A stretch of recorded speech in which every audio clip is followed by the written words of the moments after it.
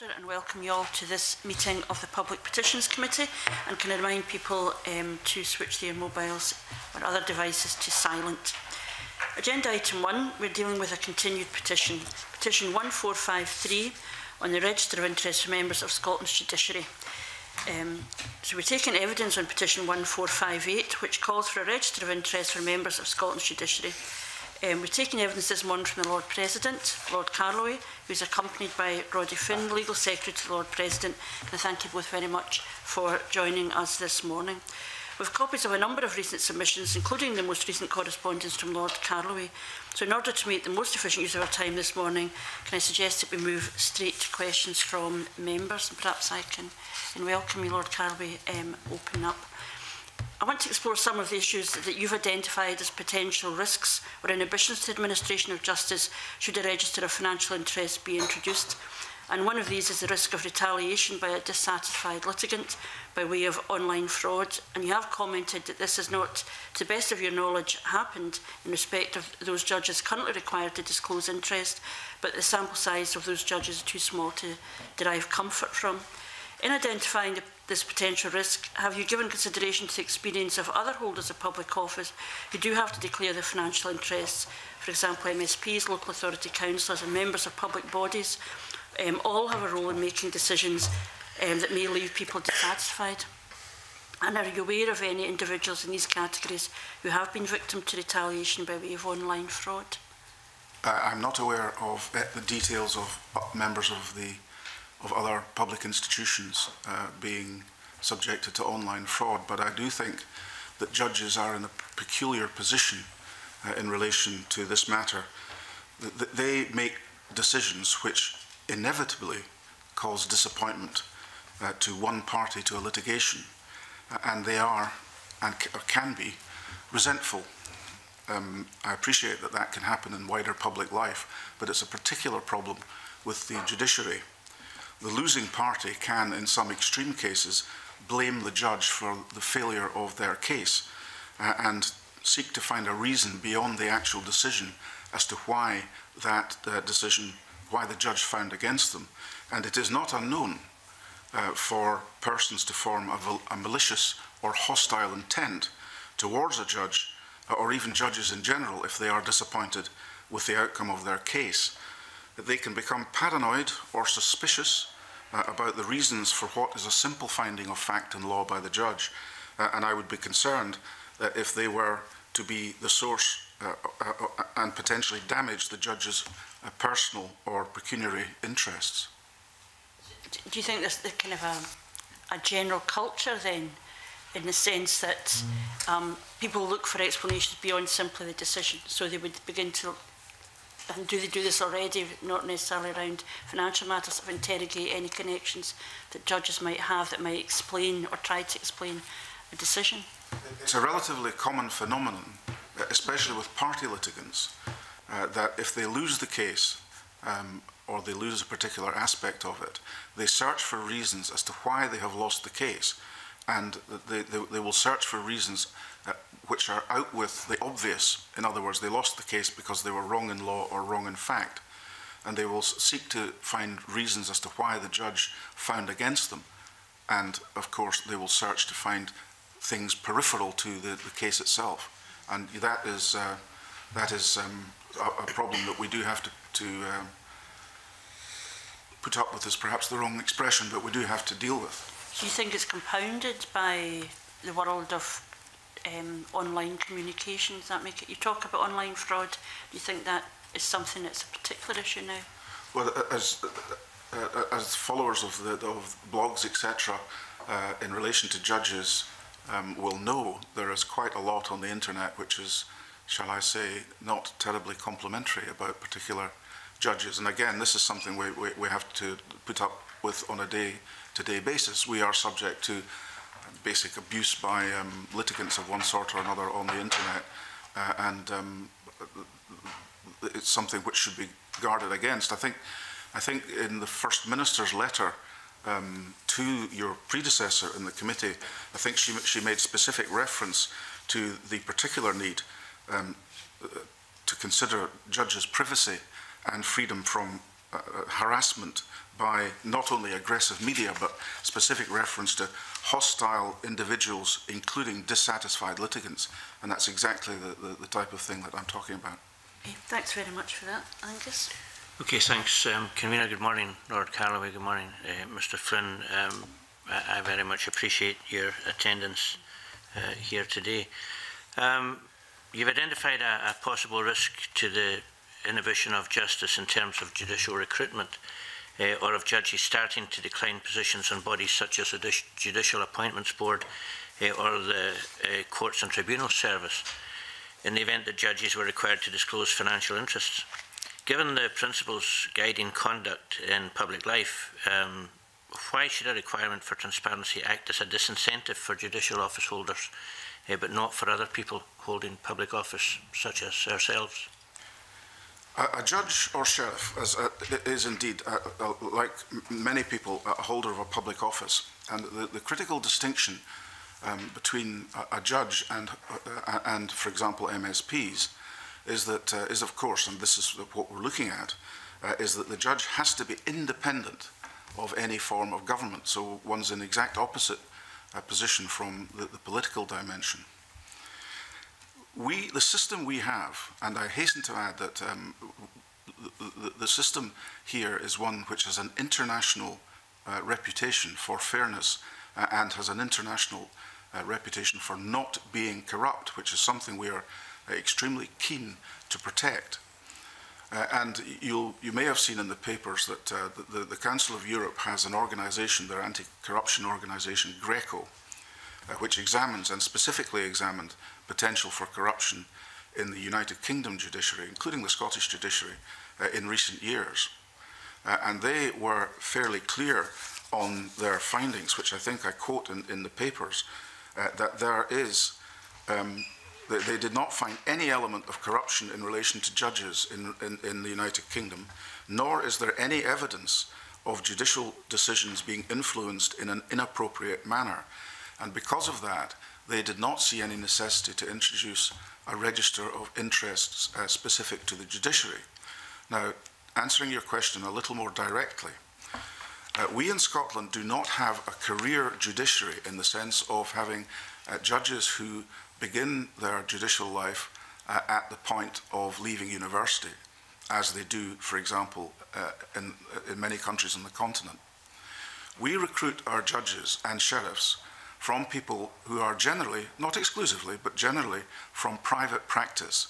And they are recruited in their 40s and 50s, perhaps sometimes even a little later, so far as the senior judiciary are concerned. Uh, we have a relatively small pool of um, lawyers of excellence who are uh, capable of taking on the job of um, being a member of our senior judiciary. You may be aware that there are certain problems at the moment in relation to the recruitment of the, particularly the senior judiciary because of certain um, steps which are being taken relative to pay and pensions uh, uh, generally. Therefore, we have particular difficulties with recruitment at the moment. If I were to say to uh, uh, senior members of the profession, which they are, before they were recruited into the judiciary, by the way, if you wish to become a judge, you will have to declare all your pecuniary interests uh, and open them to public scrutiny. I have no doubt whatsoever that that would act as a powerful disincentive for the, uh, for, from lawyers of experience and skill becoming members of the judiciary. And I can assure the committee that, uh, that we need them more than they need us, if I might put it that way. Okay, thanks. Um, taking that on board, um, you, you, mentioned uh, career, the career judiciary.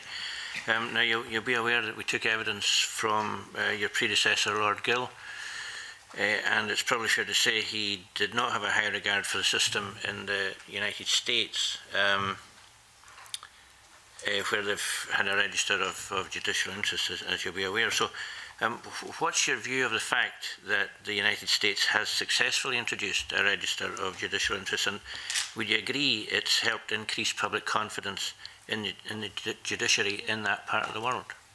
I'm not in a position to make any comment whatsoever about the United States judiciary. uh, because I simply uh, uh, do not know enough about it to make a meaningful comment. Um, you will be aware that there are problems in relation to the United States judiciary, but the, the, the, the, um, depth of that is something which uh, I'm simply not qualified to comment on. What I can comment on, and I'm sure the committee is aware of, is that the Supreme Court of the United Kingdom uh, considered this matter because previously, as members of the House of Lords, uh, they required uh, to have a register of interests, and they decided uh, that they should not have a register of interests. Uh, and I would have thought that, that, uh, that if that is the view of the United Kingdom Supreme Court, that is something which we ought to give uh, some consideration to, uh, even if, of course, uh, we are not bound by the, their decisions in that regard. Okay, thank you. Uh, I may come back with some supplementaries later. Thanks, Angus. Brian Whittle? morning, uh, Lord Carroll. Good morning, Mr. Mr. Flynn. In relation to any changes to the current system of recusal, whereby it is for a judge to decide whether or not to recuse, you comment on the inefficient disposal of business in the courts. I'd like to explore the balance between the efficient disposal of business and having systems in place that ensure there is trust in judicial decisions. In that respect, could I ask whether there's any way of quantifying the risks to efficient disposal of business, and if so, whether your office has carried out an assessment uh, of this? Uh, in relation to, uh, are you talking about the process of, of, of declining jurisdiction or recusal, as it's put, the, the processes that we Yes. use? Yes. Well, um, could, I, could I start with a little, a little preface uh, and um, state that so far as my own concerns are, uh, uh, exist in relation to this topic, my concern is primarily not that judges are uh, not recusing themselves in particular situations, because I'm quite satisfied that they do when they should do. My concern, uh, and this is also to do with the disruption of business, is with judge, judges or sheriffs who are recusing themselves unnecessarily in circumstances in which they should not do so. Uh, and that is, a, uh, that is a much more common uh, phenomenon. Uh, in other words, you, you, one has to bear in mind, again, uh, we have litigants uh, who will effectively try and forum shop. Uh, that is to say, they will uh, encounter a judge or a sheriff who is not to their um, uh, liking, and they will attempt to uh, remove that judge from the proceedings on pretexts such as having some remote connection with the case or the people involved in it. Uh, and that type of thing can cause major problems in the management of business. The way these things done are in the normal case, where perhaps somebody is, is, is represented by a, a, a member of the legal profession, is that if there is a genuine concern that the judge or sheriff does have an interest in the case, that will be raised informally with the clerk of court. Uh, and in practical terms, the sheriff or judge will uh, simply decide not to be involved in that particular case. Uh, again, that is not something which can be done in every court, and in particular courts wh- wh- wh- which only have uh, one sheriff, and especially if it's not raised in advance. What, we ca- what, what happens again, um, in the sense of practicalities and reality, is that uh, civil business, which is again what we're talking about here primarily, I think, uh, can be allocated relatively late in the day. Uh, and a, sh- a sheriff or a judge uh, may only, um, on the day in question, um, uh, be faced with an application formally in court to decline jurisdiction in that case. If he does so, then it is likely that that case will simply have to go off um, with all the inconvenience that that involves. Now, I'm not sure if you wanted me to deal with the, there was a specific point about whether, you th- whether we think judges uh, uh, should not deal with this question but pass it to another judge, which, uh, uh, um, would you wish me to deal with that point If or you not? would, please. Um, again, uh, the, the answer to that particular, particular problem is this. If a judge uh, does not recuse himself in circumstances in which he should have, uh, then the, uh, any litigant who is dissatisfied with that and loses uh, the case can appeal that, and the matter will be reviewed by three judges. So there is a form of open public scrutiny of a decision not to recuse uh, a, a judge. If there was a system whereby that judge could not decide that matter himself or herself, and after all, it is he or she who knows whether he or she has got a direct uh, connection with the litigation or the persons involved in it.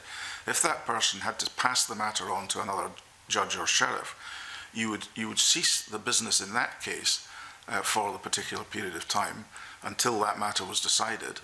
Uh, you would also cease the business which is scheduled for the other sheriff or judge uh, in order that that other judge could take the decision.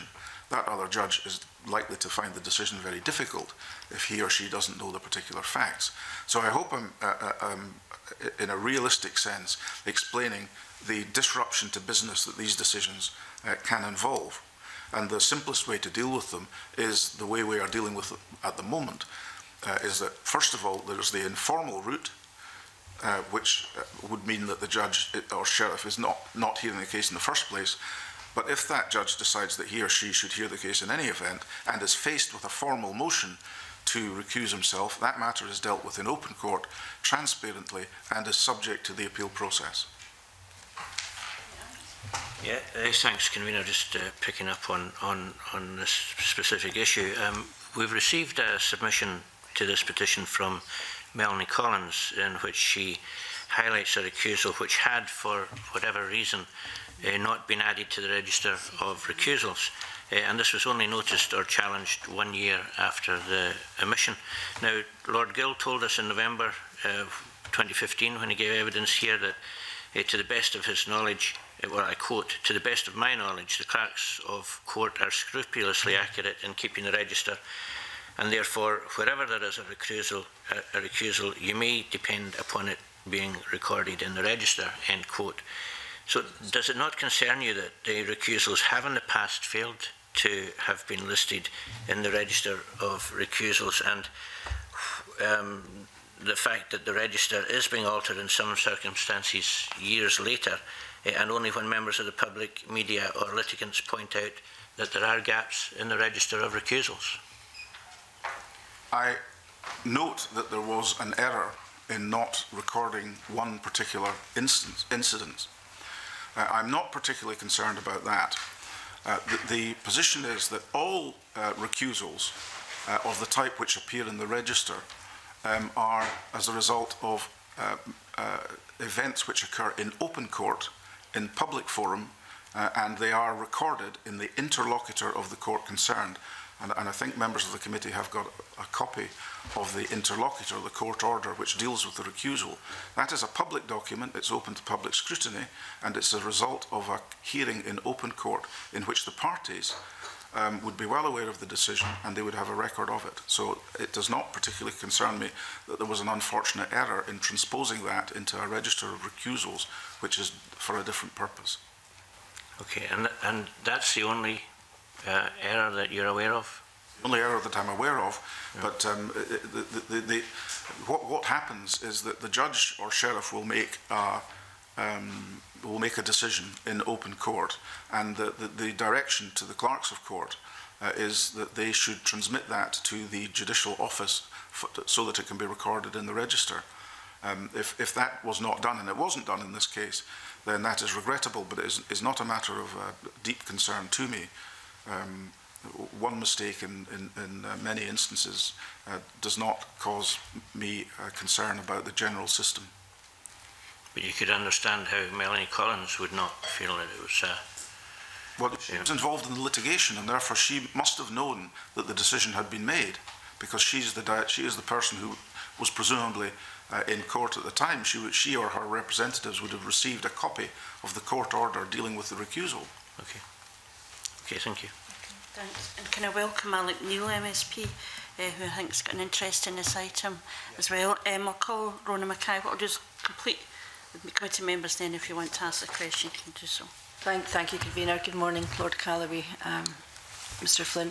Um, it's just going back to what you said earlier about um, the problems with the, that you perceive with recruitment should the, a register be introduced. And I wondered, and I may have missed this in the background uh, briefing we have, um, what the Law Society's view on, on, on the whole issue of register of interests is. I don't know the answer to that. You don't know? No. Right. Okay. Fair enough. That's fine. Thank you, Chair. Um, good morning, Lord Carloway. Good morning, uh, Mr. Flinn. Um, I welcome your indication that you have made no, no, you have no problem in extending the register of recusals to cover instances where judges have considered recusal, um, but have made the decision not to recuse. And you indicated that you would consider what you would consider may provide additional transparency, which follows on from Mr. MacDonald's comments. Have you considered options for the ways in which it could be made transparent when any additions or amendments are made to the register, notwithstanding what you've already said? Uh, sorry, in relation to... What options to make it more transparent? Um, uh, do you mean in relation to the... We, we could, for example, um, put the parties' names in? Yes. Um, that, that uh, has been considered. It's not thought to be particularly necessary or helpful. Um, again, I, I go back to the fact that all uh, decisions to recuse or not to recuse are done in the public forum. They are done in open court. Um, if anybody wants to see a particular court and has an interest to do so, wishes to see a particular court interlocutor, they can do so. So if someone, for example, uh, was looking at the register of interests and wanted more details of that, then I'm sure we could provide them with that. But we're often anxious not to um, put parties' names uh, in registers of a public nature like this, uh, because there are, as usual, um, cases involving considerable sensitivities such as children, so, so on and so forth. So I think we would be reluctant to do that, although it is something that could be done. Yeah, so you feel it could be done, but obviously it would have to be very carefully looked Yes. at. Thank you, Convener. Angus?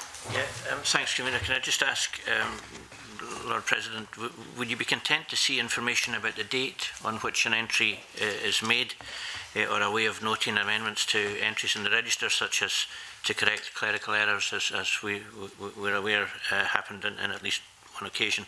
Um, do you think that would further enhance transparency? Yes, I think I think that's a, a fair point. That, that uh, if an entry is being made um, late, in other words, whatever we, we could have a protocol that if an entry was being made um, more than um, a fortnight or something like that, after. Uh, no, but I mean anything after a fortnight, um, then then we could put a footnote entered on such and such a date. Yes. Okay, that's good. Um, you'll be aware of the, uh, the fact that there was a similar petition in New Zealand uh, two or three years ago, um, which was eventually withdrawn. Um, are you aware of the circumstances? Well, defeated. Yeah. Um, are you aware of the circumstances as to what the uh, if, if, are you aware if any um, register was uh, introduced in New Zealand uh, along the lines of the register of recusals or uh, a register of interest after after the I, I'm not. I'm sorry. no okay I, I thought I thought the matter was ended with the um, with, with the defeat in Parliament. okay thanks Uh, Neil? First of convener, can I apologise for being slightly late because I had to go to the audit committee, and I apologise in advance if I'm covering ground that's already been been covered. Can I can I ask you first of all, uh, Lord Carloway, an issue of principle? do you think it should be uh, left up to a judge only to decide whether they are going to recuse themselves? Or should that be something that you or the keeper of the role should be able to insist upon if you believe that there's a potential conflict of interest? Um, the, the short answer to, to, to your question is, I, is I don't believe that, that, is, that, that there is any problem with the current system. That is that the judge who knows what his connection is with the case or the parties to it should make the initial decision. That decision is made in open court uh, when the parties are present and is subject to review on appeal. In other words, if somebody is dissatisfied with that decision, it will at some point, or if the, if the litigant, certainly if the litigant eventually loses the case, um, it will go before ju uh, three judges who will uh, review whether that decision was correct or not. And if it was incorrect, then th th clearly the decision in the case would be would fall. But, but supposing the person bringing the case to court isn't aware of any conflict of interest that the judge may have, eh, and uh, it doesn't ever find out, but it may well be that the judge has been influenced by a particular interest. Um, surely that's not right. Surely, if if the judge, um, if if if there is any potential conflict of interest, surely there should be some kind of declaration or some commitment by the judge that um, there is no, you know, an explicit statement there is no conflict of interest. Because uh, if people, uh, they might not have the resources to appeal, uh, for example, um, so is, the system not bal balanced against those people who come to court for justice? No, it, it, it is not. Um, I, again, I go back to something which I uh, mentioned earlier, uh, and this is uh, it's very important. Scotland does not have a corrupt judiciary. This matter has been examined by independent persons, notably the Greco uh, anti-corruption body um, operating under the auspices of the Council of Europe, who examined the United Kingdom judiciary, including the Scottish judiciary, and they were clear that, uh, that fortunately we, as distinct from many other countries, do not suffer from corruption within the judiciary.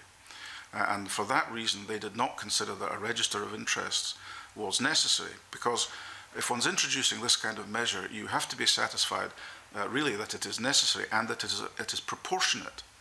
So if, it's, if one's analysing its proportionality, one has to look at, well, what exactly are we guarding against here? Now, if uh, the situation where that there were that there was corruption in the Scottish judiciary, which we would discover at, at some point or another, then of course we would have to consider measures to prevent that. One of which may be uh, a register of certain interests. Uh, until such time as it's demonstrated that there is corruption within the Scottish judiciary, I am entirely satisfied that there is no requirement for a register of interests and that it would be positively detrimental um, to the administration of justice, particularly in relation to the recruitment of judges and especially in, at the higher level uh, of the judiciary. Can, can I draw a parallel with the register of interests that members of this parliament have to sign and update on a regular basis? That came about not because of any allegations or belief that the system was corrupt or the MSPs are corrupt. Uh, the 18 years we've been here, I haven't heard one allegation of corruption. But it's not there because of allegations of corruption. It is there to ensure that there is no prejudice so that if I'm participating in a debate and I have an interest that I have not declared, um, then I'm open to the allegation not of corruption but of prejudice. Uh, by having a register of interest and declaring interest, say in a debate or in a committee like this, then there is a transparency to ensure that I am not acting in a prejudicial fashion. Now, going back to the case cited as I come in by Mr MacDonald of Lord Malcolm in the advanced construction in the Donald Nolan case, uh, where Lord Malcolm's son was involved um, as a lawyer with one of the parties. Um, the, the issue there was not an allegation of corruption, it's an allegation of possible prejudice or misconception of prejudice.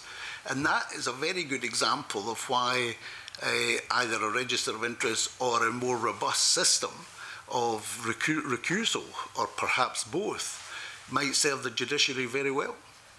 Uh, in relation to Lord Malcolm's case, I am satisfied entirely that Lord Malcolm's actions were entirely honourable and he acted in accordance with the Code of Judicial Ethics. Um, I'm not sure what is what is what is. I am aware of. I am aware of the background to it. No, but have you investigated it? Well, I, have read the papers uh, uh, which well, uh, which it involves. Well, with all due respect, um, you know, Melanie Collins and Donald Nolan have written to you on numerous occasions, and at no time have you replied to them, let alone met them. So you haven't heard the other side of the case. Well, I'm sorry, I'm not aware of letters to me by that, that particular well, person. Well, your, your office, sorry. Yes, I absolutely. But, but, but, you're, you're but my point is, how, how can you reach that conclusion if you haven't heard the other side? I have, I've, I've read um, documents emanating from the persons that you've uh, mentioned. So far as I'm aware, they were not addressed to me, um, but I could be wrong about that. Um, um, but the position is that I'm aware of uh, the circumstances of the case. I'm satisfied that was, uh, Lord Malcolm's conduct was entirely correct in the circumstances.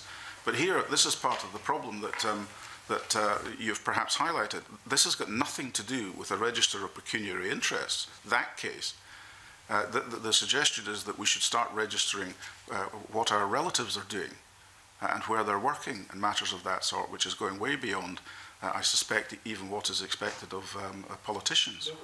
We do have to register what close relatives do. Um, can, I, can I deal with the, the, the difference between MSPs and uh, the judiciary, which I, I think I, I, dealt with earlier on in the morning, um, but it's quite a different function. a politician is by nature uh, someone who is not independent in the sense that uh, the public expect the judiciary to be. That's not a criticism, it's a reality. And judges do not deal, as a generality, with the type of issues which politicians are dealing with. Politicians have executive power. They are dealing with major economic interests of one sort or another. As a generality, judges are not dealing with that type of thing, but are dealing with uh, issues usually between private individuals, but can be between private individuals and government or others. And so they're, they're not dealing with, the, with the, the, type of issues which politicians are dealing with, such as uh, planning inquiries, etc., at a local level or major uh, economic development in society as a whole. Uh, the, the need for independence in the judiciary is different from the kind of independence which a politician requires. Uh, because with a politician, it's primarily, uh, as, as you've pointed out, uh, issues of a pecuniary nature. These, these are not the issues which arise in most of the recusal cases with, with which we are concerned. What we are concerned with as judges is that we appear to be independent of all connection with the case so that it's not a question of um, having a pecuniary interest. And I think if one looks at the register of recusals, uh, certainly in recent years or in the, the last year, I don't think any of them were to do with pecuniary interest at all. It was to do with social connections with people. Whether someone is a friend, whether uh, a party to the litigation is a friend of a friend, and matters of that sort. And these are the type of situations which are raised by people in the practical uh, reality of litigation. And these are the issues which are being dealt with. And unless you're suggesting a, a register of one's friends and presumably, therefore, one's enemies, uh, then the, the, the real issue with recusal in the judicial system would not be being addressed. Well, again, if I can just finally, yes, draw the, draw the parallel between our register and, and uh, what's being talked about in terms of either recusal or financial interest. Uh, politicians, uh, particularly MSPs, actually as individuals and collectively MSPs unless they're ministers don't have executive power per se. But what's very important is the perception of fairness the perception that justice has been carried out and rightly or wrongly if in any case without referring to a specific case if the relative a close relative of um, a judge is participating in the case rightly or wrongly, the perception is that there may be a degree of prejudice. Now, it might be very unfair, but the point is to try to ensure that the reputation, the excellent reputation of the judiciary down the years in Scotland, that the judiciary retains that reputation, not just for not being corrupt, which we all accept, we're not accusing anybody of corruption, but the perception of fairness, the perception of being um, not prejudiced is extremely important. And I would argue that certainly in at least one case recently, uh, which we have referred to briefly, uh, that perception is that there may have been an unfairness and a prejudice uh, in the way the matter was conducted, particularly as the judge concerned was involved in the case not once but a number of, on a number of occasions. I disagree entirely with your analysis of that particular case, and I repeat what I said earlier. Uh, the, the, the, case that you're referring to uh, um, did not involve the judge's son, as it was, uh, having any active involvement with the case whatsoever. Now, we have uh, very clear rules in our statement of uh, principles of judicial ethics as to how to deal with this matter, and it is made very clear uh, in that statement that uh, if a relative is the advocate in the case before one, then uh, the, the modern approach to that is that the judge should not hear the case. Or one could put it another way round, that the relative should not be presenting the case, whichever uh, way it happens to be put. Uh, so that the older, uh, the situation that we had, say, 20 or 30 years ago, when it was commonplace for the relatives of judges of one sort or another to be advocating the case. That practice no longer exists. Uh, it doesn't exist because it was thought that uh, there was any actual problem with the decision making, but as you say, because of a perception of unfairness. Now, there is a very clear judicial rule about this, and I am not aware of any case in which that rule has been breached. I myself um, have uh, been in a situation where um, my son has been involved with a particular firm uh, who have been litigating before me. And uh, if uh, that is the case, the judge would be expected to declare that, uh, and uh, the parties would then decide whether to take the point or not. Uh, but if they took the point and the relative was uh, just happened to be a member of the same firm, uh, operating in a different department, then I would not encourage the judge to, uh, to um, recuse himself in that situation. Any final questions? No.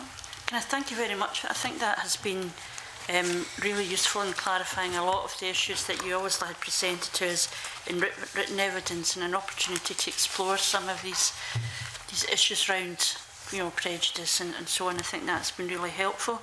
In terms of how we now um, take this forward, I thought what we might suggest is ask for the petitioners to respond in writing to the evidence and allow us the opportunity to reflect on that um, if, if people are, are so minded. And I think that when we are Looking at this petition at a future meeting, um, we can obviously consider any further actions members might deem appropriate having read that response.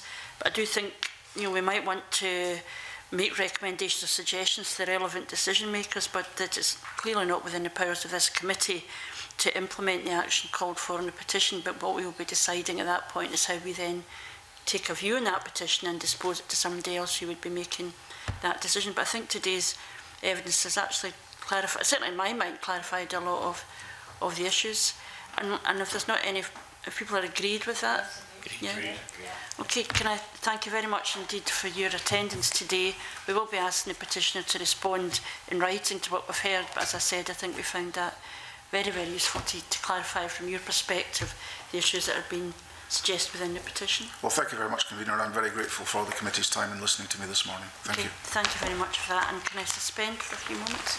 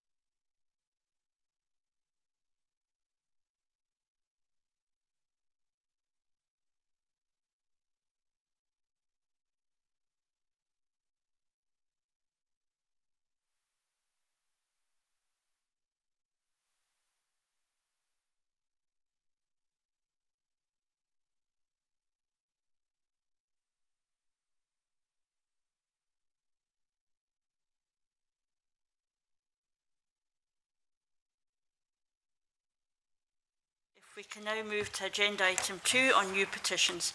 The next agenda item is consideration of new petitions. The first new petition we will be taking evidence on this morning is petition 1651 by Marion Brown on behalf of Recovery and Renewal on Prescribed Drug Dependence and Withdrawal. Marion Brown joins us this morning and I want to welcome you to the meeting and can ask you to make an opening statement of up to five minutes, after which we'll move to questions from the committee. Uh, first of all, can I just make apologies for Beverley Thorpe, who was hoping to be here today, but her mother's very ill, sir. thank you. Um, so today, uh, I'm here to represent many people in Scotland who are not well enough to be here in person. Some courageous individuals have provided clear evidence for the committee showing the terrible suffering being endured as a consequence of taking antidepressants and or benzodiazepines as prescribed by their trusted doctors. We've previously raised our concerns directly with the doctors, local and national NHS representatives, MSPs, and the Cabinet Secretary for Health. We actively contributed to the BMA Board of Science's 2014 UK research and are taking part in the BMA's ongoing work on prescribed drugs associated with dependence and withdrawal. Our, foc our, focus now is on raising political, press, and public awareness of these issues in Scotland complementing the activities of the All Party Parliamentary Group for Prescribed Drug Dependence at Westminster. Uh, the SPICE summary that you have links to the current official medical guide guidance and policy. It also outlines the recent BMA recommendations. We've found that major discrepancies exist between what the official medical guidance would have us all believe and the very different actual real experiences of patients. There is a statement in the SPICE briefing which reads, despite licensing procedures and guidance, it is ultimately the decision of clinicians to decide whether or not a drug should be used in the treatment of their patient. And that's a phrase that seems to come back and back in any questions and so on. Clinical trials of medicines are usually carried out over relatively short periods. Patients may be prescribed these medicines over very long periods and perhaps in combination with other medicines we have found that individual reported patient experience is frequently ignored, put down, and dis disbelieved by the clinicians. In benzos, the clear medical guidance is that these should be prescribed for a very short time only, and this is not happening. There is substantial evidence for prescribed benzo dependence and withdrawal issues going back decades. In contrast, for antidepressants, medical guidance is that these, these should be taken for at least six months and then are com commonly prescribed indefinitely. There are now many people who've been on antidepressants and or benzos for 20 years or a lot longer. Long-term harm is now very clearly apparent. Safe tapering after different periods of prescribed treatment is fraught with difficulties for patients. The very few, mostly online support groups that exist have for years been informally gathering evidence on a trial and error, ad hoc patient report and patient self-help basis. This genuine experiential patient learning and sharing has been largely dismissed, disregarded, and even denigrated by the medical profession. Now that there's a great deal of patient communication via online social media, as well as extensive internet availability of research and medical information, patients often come to know much more about their own conditions than their doctors possibly can.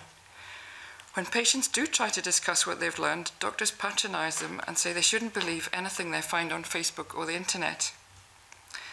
These patients find themselves perceived by their doctors as troublesome and difficult heart sink patients and acquire psychiatric diagnoses such as personality disorders and medically unexplained somatic, functional, or conversion disorders. I'd like to refer to the diagram which is in my own submission, um, which summarises the pattern of the actual patient journey that we've now observed across numerous actual patient accounts of what's happened to them. Patient medical records being confidential to doctors turns out to have unexpected consequences for patients. Self-reported serious drug effect symptoms have been noted in the notes but have not been acknowledged by doctors as drug effects and instead further medicines have been prescribed for the reported symptoms. Complaints procedures tend to be perceived as threatening to doctors. The medical defence organisations encourage doctors to do what any other doctor would do and to comply with current medical guidelines. If patients do complain, this results in professionally defensive responses.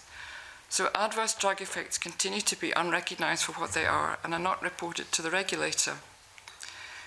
There is no provision for systemic patient feedback and constructive learning. So to sum up, patients are suffering very serious harm from taking these medicines as prescribed. Dependence and withdrawal problems are causing untold damage. Doctor-patient relationships are being destroyed. All parties are suffering. There are utterly desperate consequences to this. Long overdue recognition of these issues will open the door for honest communication and genuine collaboration, leading to the establishment of appropriate national, regional and local support services for those in need of them and, most importantly, urgent prescribing guideline reviews and updating of doctor education.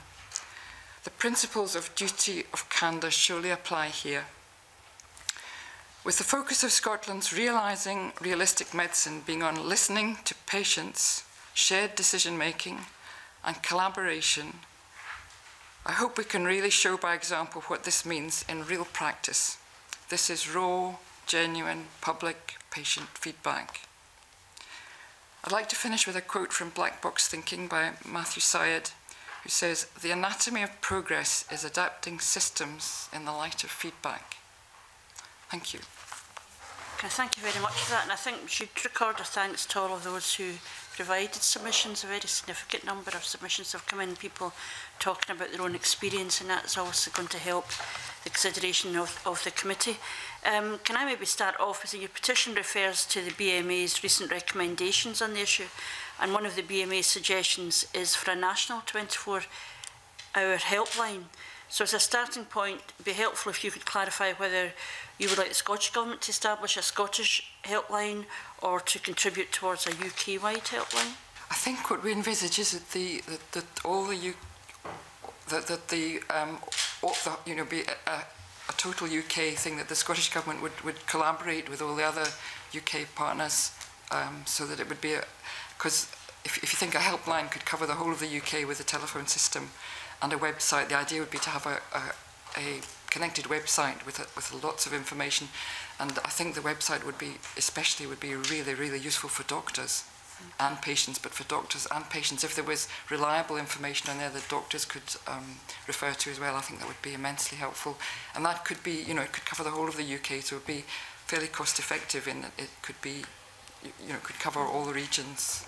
And are you aware of, uh, has the UK government taken action in response to the recommendation by the BMA? I believe the BMA, representatives from the BMA met with uh, representatives from the Westminster Government uh, on the 22nd of June, but I haven't heard any report of what happened there. Okay. But certainly they've been approaching the, the, the, Westminster Government, yes. Okay, that's something we can obviously in inquire about. Um, Rona Mackay? Um, yet if I could just maybe expand a wee bit on the helplines, I'm just wondering what role you, you, you think it, it might perform. Do you think it would be a source of medical advice? Uh, or act as a counselling service or, as, or just to signpost people to, to, to various sources of support. Um, at the moment the discussions about that are still ongoing, but I think it would have to be a combination. Um, mm.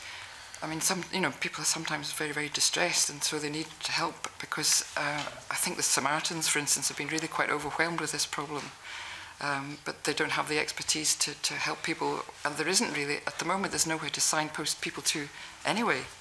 Um, so. Do you foresee specialist training for, for, for something like that? Yes, there certainly would have to be specialist training, yeah. but it could be centralised. You know, there's, there's, there are There's helplines that have been running in England. There's nothing in Scotland, but that there have been helplines running in England for um, a, a, a quite a long time. You know, I think about 20 years. But um, some of them are closed down uh, due, due to lack of funding. Um, there's one in Oldham um, Barry Haslam sent in. He was one of the. Um, he sent in one of the submissions. He's been. He was. He helped to set up one in Oldham, which has been uh, replicated in other places in the in the northwest of England. Um, is it widely used, to your knowledge? Is it? Yes. Oh, and there's one in Bristol, that, uh -huh. which is um, they're quite overwhelmed. People can't get through to them. Okay. Um, you know, there's a there's a huge need, and there's a huge need for really, you know, properly resourced and um, with with really good information that the doctors will believe. Because at the moment, even if people say they've phoned a helpline and the helpline advised them something or other, and they go back to the doctors and the, the doctors say, well, they don't know anything about that. It doesn't say that in the guidelines. More crossover, more you know, yes, cooperation yeah, between the two. absolutely. It needs yeah. to be. This needs to be something that the you know that the medical profession can co feed collaborates yeah. with mm -hmm. and believes in as well. Because it's hopeless if the if the patients are getting good, well, hopefully good advice from somewhere and going back to the doctors and said I've been advised, for instance, tapering advice. Quite often they get good tapering advice, advice from one of the, um, it's usually one of the online advice um, bodies, and they go back to the doctor and say, I've been ad advised this, and the doctor says, well, my guidelines don't say that, you just, and, okay. and I suggest you do uh-huh, this. Uh -huh. and uh -huh. So there's a disconnect yeah. somewhere. Yeah, okay. Thank you. Angus MacDonald. Okay, thanks, Convener. Um, good morning, Marion. Uh, following on from that, uh, another of the BMA's recommendations calls on each of the UK government's relevant health departments and local authorities to establish adequately resourced specialist support services for prescribed drug dependence. Um, can you perhaps expand on, on what, in your view, adequately resourced specialist services should look like, uh, in addition perhaps to helplines and the website that you mentioned earlier? I think we're still in quite early stages of trying to to figure out what exactly that would be. And again, I think the collaboration um, would be with the BMA has been talking to the, the charities that have been running uh, support uh, and, and helplines and so on. So I think there'd be a lot of there's a lot of expertise there that I think they would um, work, work with. But again, you know, this is early in the process. It would be a collaboration between everyone, speaking to everybody else, and trying to work out what was needed. But um, I mean, at the moment, people are just left in the long grass, really suffering. That you know, you've read the accounts of people. There's, there's just nothing. There's no, there's no support. They're, they're just left, and, and nobody believes that they, what's wrong with them. No. Okay. Thank you. Morris Corey. Um, good morning, Marion. And um, I, I know of your work in Helensburgh, my hometown and my, my region, so, so I'm well aware of the good work you do with the recovery renewal in Helensburgh, um, and it's a great benefit to the area. Uh, can I just ask, the BMA's recommendations also call on professional bodies to offer guidance uh, on tapering withdrawal management. Are you aware of any work being done on the development of such guidance? I think, again, it's in early stages, but, but, but because the problem hasn't been recognised by the medical profession, there's been, it's, you know, nobody's done the research, nobody's really done anything about it except hope it would all go away. So, but there is some research being done now, um, and I think I think there will be more research. We'll, we'll, but uh, one thing we're, we're quite um, we'd like to say is that, that there is a lot of expertise within the self-help groups. These are like Facebook groups and internet groups. The patient self-help groups have developed a huge amount of expertise and they will be able to share that. You know, as long as there's the willingness for them to share, they can share what they've learned. And, and they've been helping real people through real processes. And, and so there's been, you know, a lot of coming and going and, and supporting each other. So I, th I think there's, you know, there's a lot of expertise there if it's recognised that, that, that would be able to, again, in a collaborative way, if everyone were, were able to talk to each other, would be, would be able to be developed. And you find that it's sort of helping your, your work in the Recovery and Renewal Centre? Well, we don't we don't have a centre. In fact, well, I mean, sorry, the, yeah, work. The sorry, renewal, could, could sorry, the, the recovery and renewal work that you do that you're involved in. Well, we, we found it real difficult because what happens is people are struggling desperately with the medications. The doctors aren't helping them. Um, well, the doctor's advice often is, you know, they're, they're finding it unhelpful to them.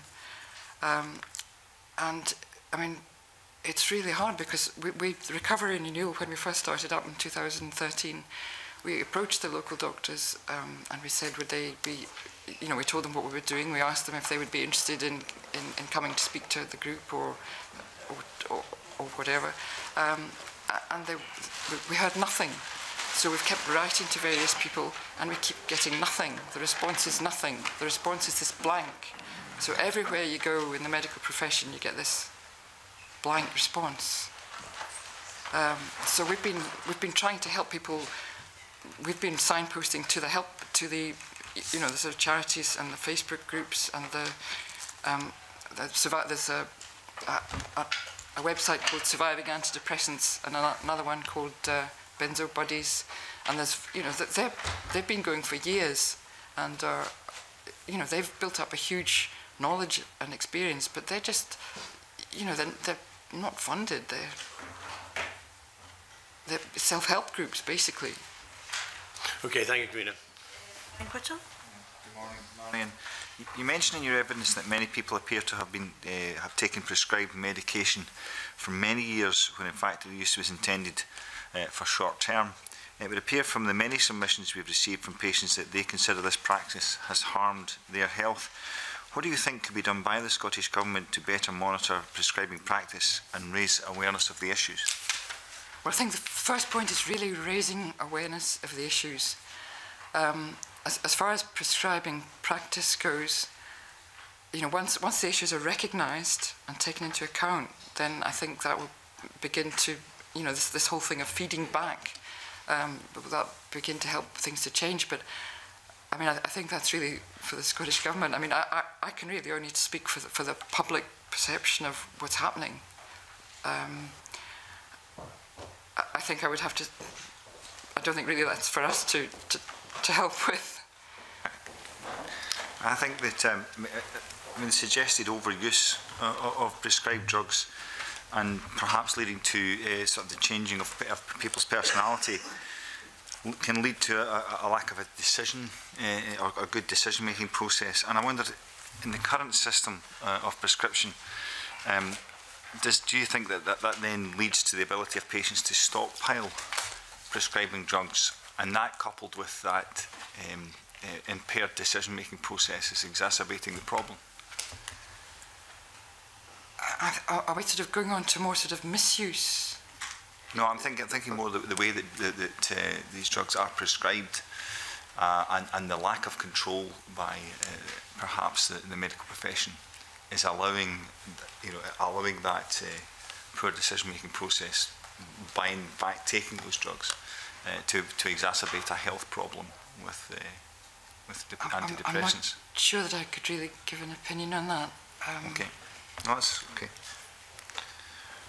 okay. Yeah. Kate?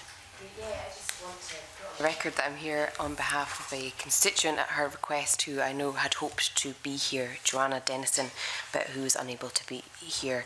And I believe you've all got her personal testimony anyway, so I just wanted to put that on the record for her on her behalf. As I said um, earlier, we are very appreciative of the personal um, submissions that people have made. I think they've given us a, an idea of some of the really quite important issues that have been flagged up by yourself. I wondered, you spoke about the all-party parliamentary group in Westminster and whether you've explored the possibility of a cross-party group with MSPs here to deal with these, to highlight it, it these was, issues. I think Jackie Bailey raised something, um, I think it was back in 2013. It was soon after we started up the group. We've been involved with Jackie Bailey um, right right the way through and she she knew about it and and she came to one of our meetings and she did contacted contact um the I think there is already a Scottish a cross-party group for, for something quite similar, isn't it? Mental health issues or something? There's uh, quite a range of them. We would maybe have to look at the, the list, but there may be some. I mean, I think very specific questions around prescribed drug dependence yeah, might be a subset of some, but I think you made the distinction between the misuse of drugs and being prescribed drugs and being therefore dependent on them, which I suppose is slightly is a different, slightly different issue. Because we did uh, we did ask her to explore that, and then we, and and it came back. I th there was a there was a letter came back that said that they they didn't think it was something that was necessary or. Perhaps the petition itself may generate an interest in it, and then that would be something that um, could be looked at. Um, I don't know if there's any other questions that people have. And we do appreciate very much again um, your evidence and the very substantial evidence we received in written form on a question which I think there is a dilemma, which is, well, first of all, the appropriateness of prescribing particular drugs at all. Um, prescribe them for longer periods of time than perhaps were attended. Are there some drugs that ought not to be prescribed at all or should be discouraged? And the extent to which the medical profession are then are alive to people's concerns when they feel they have become dependent. And we're all, we'll all have been in circumstances where we've raised questions and the response has been, well, it's a clinical decision, which clearly is very difficult to argue with. So um, I think, I think you're really obviously raised a number of important points. What we now need to decide is how we want to take this petition forward. When people have views. Brian? Yeah. I, I think the, the thing for me is, is the, um, as you've alluded to, is it's not the prescribing of the drugs per se here, if I'm, if I'm uh, uh, correct me if I'm wrong, but it's the length of time uh, that those drugs are then, are then prescribed for and what what's in place. You know, if, if, if a drug's supposed to be there for a short period of time, what's in place for the medical profession then to uh, to, to change that, that type of service? And I think the only thing I can think of really is, is you know, is maybe ask the government, or write to the government to ask what their view is on, on this particular pe- pe- petition. I think we should certainly that would be a good starting point to the Scottish Government because they would also then take advice from the Chief Medical Officer. Um, I don't know whether there are kind of patients organisations other than your own, whether people who are dealing with mental issue, health issues are seeing people coming through who've had this particular concern. I don't know whether there are organisations, well, you, you mentioned Samaritans, for example, who may have evidence around the, the scale of the problem that they're, they're facing or SAMH or whatever. Mm -hmm. No, I was just going to say, I mean, it, it's clear that the BMA is aware that there is a problem. I mean, you know, there's there's no denying that mm -hmm. that, mm-hmm. that there's a there's a huge issue.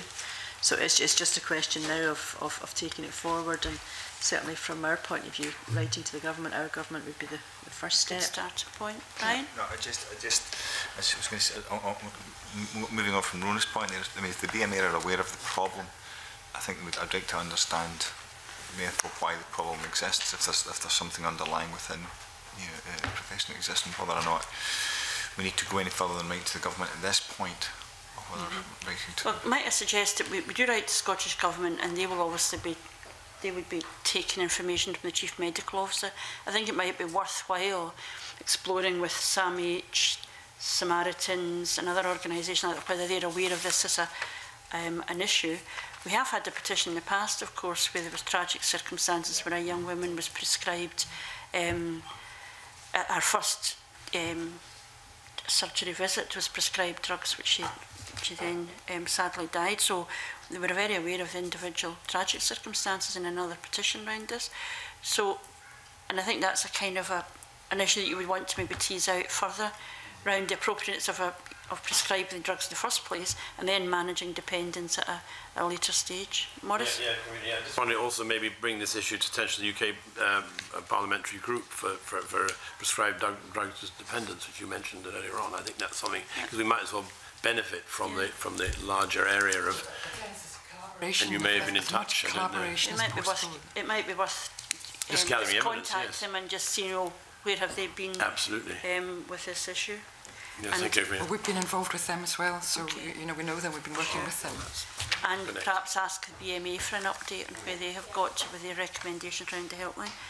Okay, I think that's a, a, a reasonable first stab at a, I think what's been a very important petition. Can I thank you again for your attendance. Obviously, once we have responses from Scottish Government and other organisations, this petition will, will be back on the agenda um, in the next term.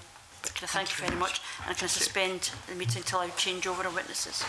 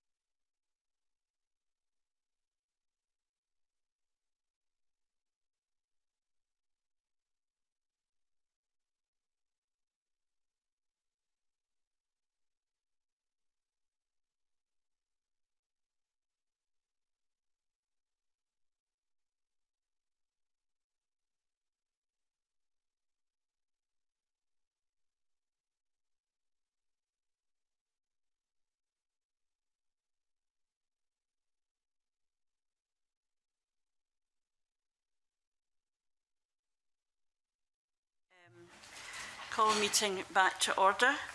The next new petition we will take evidence on is petition 1653 by Michaela Jackson on behalf of Goldbridge Community Development Trust on active travel infrastructure. We're joined this morning by Michaela and she's accompanied by David DeFew and David French who are both members of Spokes, which I think is a Lothian um, cycling campaigning group. I, can I welcome you all to the meeting and invite Michaela to make an opening statement of up to five minutes and then we'll move to questions from the committee. And I should also welcome Christine Graham, who, MSP, who has an interest in this petition. Michaela. Hello, thank you very much for having us this morning. Um, I, Uh, I'm going to be joined by Dave Defoe, who's going to be talking about policy issues, and David French, who's also going to be helping me present, um, and he's going to be talking about the issues with option B for the Sheriff Hall roundabout. Um, I started this petition when it became clear that the option chosen for the Sheriff Hall roundabout was really the worst option with regards to um, accessibility for pedestrians and cyclists. Um, the the issues uh, sort of, I think, also extend to broader transport policy, which I feel is at odds with um, two key policy objectives within the Scottish Parliament. The first is um, CAPS, or the Cycling Action Plan for Scotland. Um, that's an action plan that was initiated in 2010 uh, with a vision to see 10% of all journeys in Scotland taken by bicycle. Now, a recent review has indicated that there's only been a 0.2% increase in cycling journeys. And at this rate, it would take more than 300 years to reach our 10% goal um, of uh, a 10% cycling goal. So it's clear that transport policy at present isn't integrating cycling or active travel enough. Cycling and active travel have to be central to policy, not an add on at the end. The second um, Scottish objective that I feel um, is at odds with with um, cycling is is climate change. Um, Scotland has really really ambitious climate uh, CO2 emissions reductions targets, and um, when reading through the environmental report, the environmental analysis of the Sheriff Hall roundabout, I was really surprised to see that climate change um, with regards to how the, the, the, the construction was, was Im implemented and how that was going to be used wasn't really a consideration. All the, the, the key considerations were really um, the, the actual environment and, and journey saving times. Um, so, so I feel that we need to, we need to look at how um, how what we build impacts users. If we build for traffic and cars, we're going to get more traffic and cars. If we build for people, for places, we're going to get more people, better places. Uh, what I'm asking today is for active travel not to be an add-on, but to be absolutely integral to, to any new um, any new transport infrastructure, especially with regards to trunk roads and key areas for commuting. I'll pass over to Dave. Thanks. Um, I'll spend two minutes outlining some policy issues. As Michaela said, the government's preferred Sheriff Hall option B is the worst option for cycling and walking, making it impossible to include a direct pedestrian cycle bridge and with numerous slip road crossings. The government's option B announcement did not even mention cycling. Sestran, the Regional Transport Authority, in its report Strategic Cross-Boundary Cycle Development, identifies the importance of a bridge here if there is to be high-quality cycle provision. Sustrans, the Scottish Government's main partner on cycling infrastructure, states in a letter to the designers that this option is so poor that they will not comment on its details and they instead urge a rethink on the options. Even the Scottish Government, in a letter to Spokes, damns option B with faint praise, merely saying it is better than existing arrangements. In 2004, Scottish ministers allocated £800,000 to Midlothian Council for a cycle bridge here. Sadly, the cash was subsequently reallocated because at that time it appeared that the roundabout rebuild was moving up the agenda. More generally, the Scottish Government does have a trunk roads cycling initiative policy, which will particularly interest Mr Whittle and um, Mr Corry, as this policy was introduced by Lord James Douglas Hamilton back in 1996. Um, it is still current, and it commits the government to give special consideration for cyclists in trunk road improvements, ensure no hazards to cyclists are built in, and ensure that opportunities for cyclists are exploited. This policy is clearly breached by the choice of option B. Finally, option B reflects a general issue in the treatment of walking and cycling in infrastructure projects, of which I have countless examples. Namely, major decisions are taken, and only then do designers try and fit in active travel, although good options may by then be impossible. Instead, cycling and walking should be essential criteria from the outset and holistic solutions should be developed. Finally, pass over to David. Hi, I'm just going to talk um, briefly about Sheriff Hall itself. So Sheriff Hall is an important road intersection, but it's an equally important barrier at the moment between Midlothian and Ed Edinburgh for pedestrians and cyclists. Crossing the current roundabout is really not a fun experience and that's whether you take the pavement and cross the carriageways or if you cycle round the roundabout itself. Neither is very fun. So the building of a new roundabout is a great opportunity to fix this and to make active travel between Midlothian and Edinburgh at Sheriff Hall an appealing option. The, current, the proposed option B doesn't manage this. Um, as Dave said, improving safety at Sheriff Hall for non-motorised users is not a particularly high bar to clear but I'm not convinced the proposed design even manages that. The assessment report asserts that safety for non-motorised users will be improved by grade separation, but crossing the slip roads will still be dangerous, especially if the crossings aren't signalised. The nearby Straighton junction is already grade separated, but is listed as by Sustrans recently as one of the very worst accident spots in the country. What we really need is segregated routes across Sheriff Hall. Thank you. Okay, thank you very much. Um, we're obviously interested in the specific of the um, of Sheriff uh, Hall, but obviously we want to look at the more general issues as well. And th thank you that some of these have already been flagged up. Um, can I just ask Rona Mackay, first of all? Yes, thank, thank you, Convener. Um, Good morning. Your, your, petition calls for active travel considerations to be incorporated into all new major in infrastructure projects, and we know that there's disagreement over the to the extent of which this has already been achieved. And that's and how we measure the provision and quality of the of the infrastructure. Um, I wonder if you have any suggestions for how the provision and quality of active travel infrastructure can be objectively measured. Is there a widely acknowledged standard or guidance that you're aware of that can be drawn on for this purpose to make any comparisons? Or? I don't know, I'm not an expert, but myself personally, um, if I feel like I can take my children along the path, I feel like that's a safe path for active travel. I myself do not define myself as a cyclist. I'm just trying to get from me to be and get some exercise into my day. But I'll take higher risks. You know, I'll travel on busier roads that I would never dream of taking my children on. So um, for me, that's the benchmark: is would you take a, a, a, an eight-year-old child on that road? I don't know what Spokes has. Um, well, no, I don't know details myself, but I do know that. Um, when the Scottish Government or Transport Scotland was consulting on the options for a Sheriff Hall roundabout, Sustrans did a very detailed analysis um, of the different options based on various criteria, and we could provide that um, letter from Sustrans if it, if it was helpful. Did, did, you, did you get an explanation of why this particular option was chosen over the others? So, I mean, I've just looked at the report, uh -huh. the environmental assess, you know, the assessment report. And basically, there's a kind of model called STAG or or something similar where different criteria are put into the model. But the problem with that model is it's using, um, it's extrapolating data from like 2014 um, to 2024 when the roundabout will be put into existence. and then it's looking at the impact that that will have on um, on journey times, on safety and on the local environment. But at no point does that model, uh, uh, I feel like we can't be using models that extrapolate from 2014. We need to be looking at where we want to be in 2024. We can't just assume that traffic's going to increase by 40%.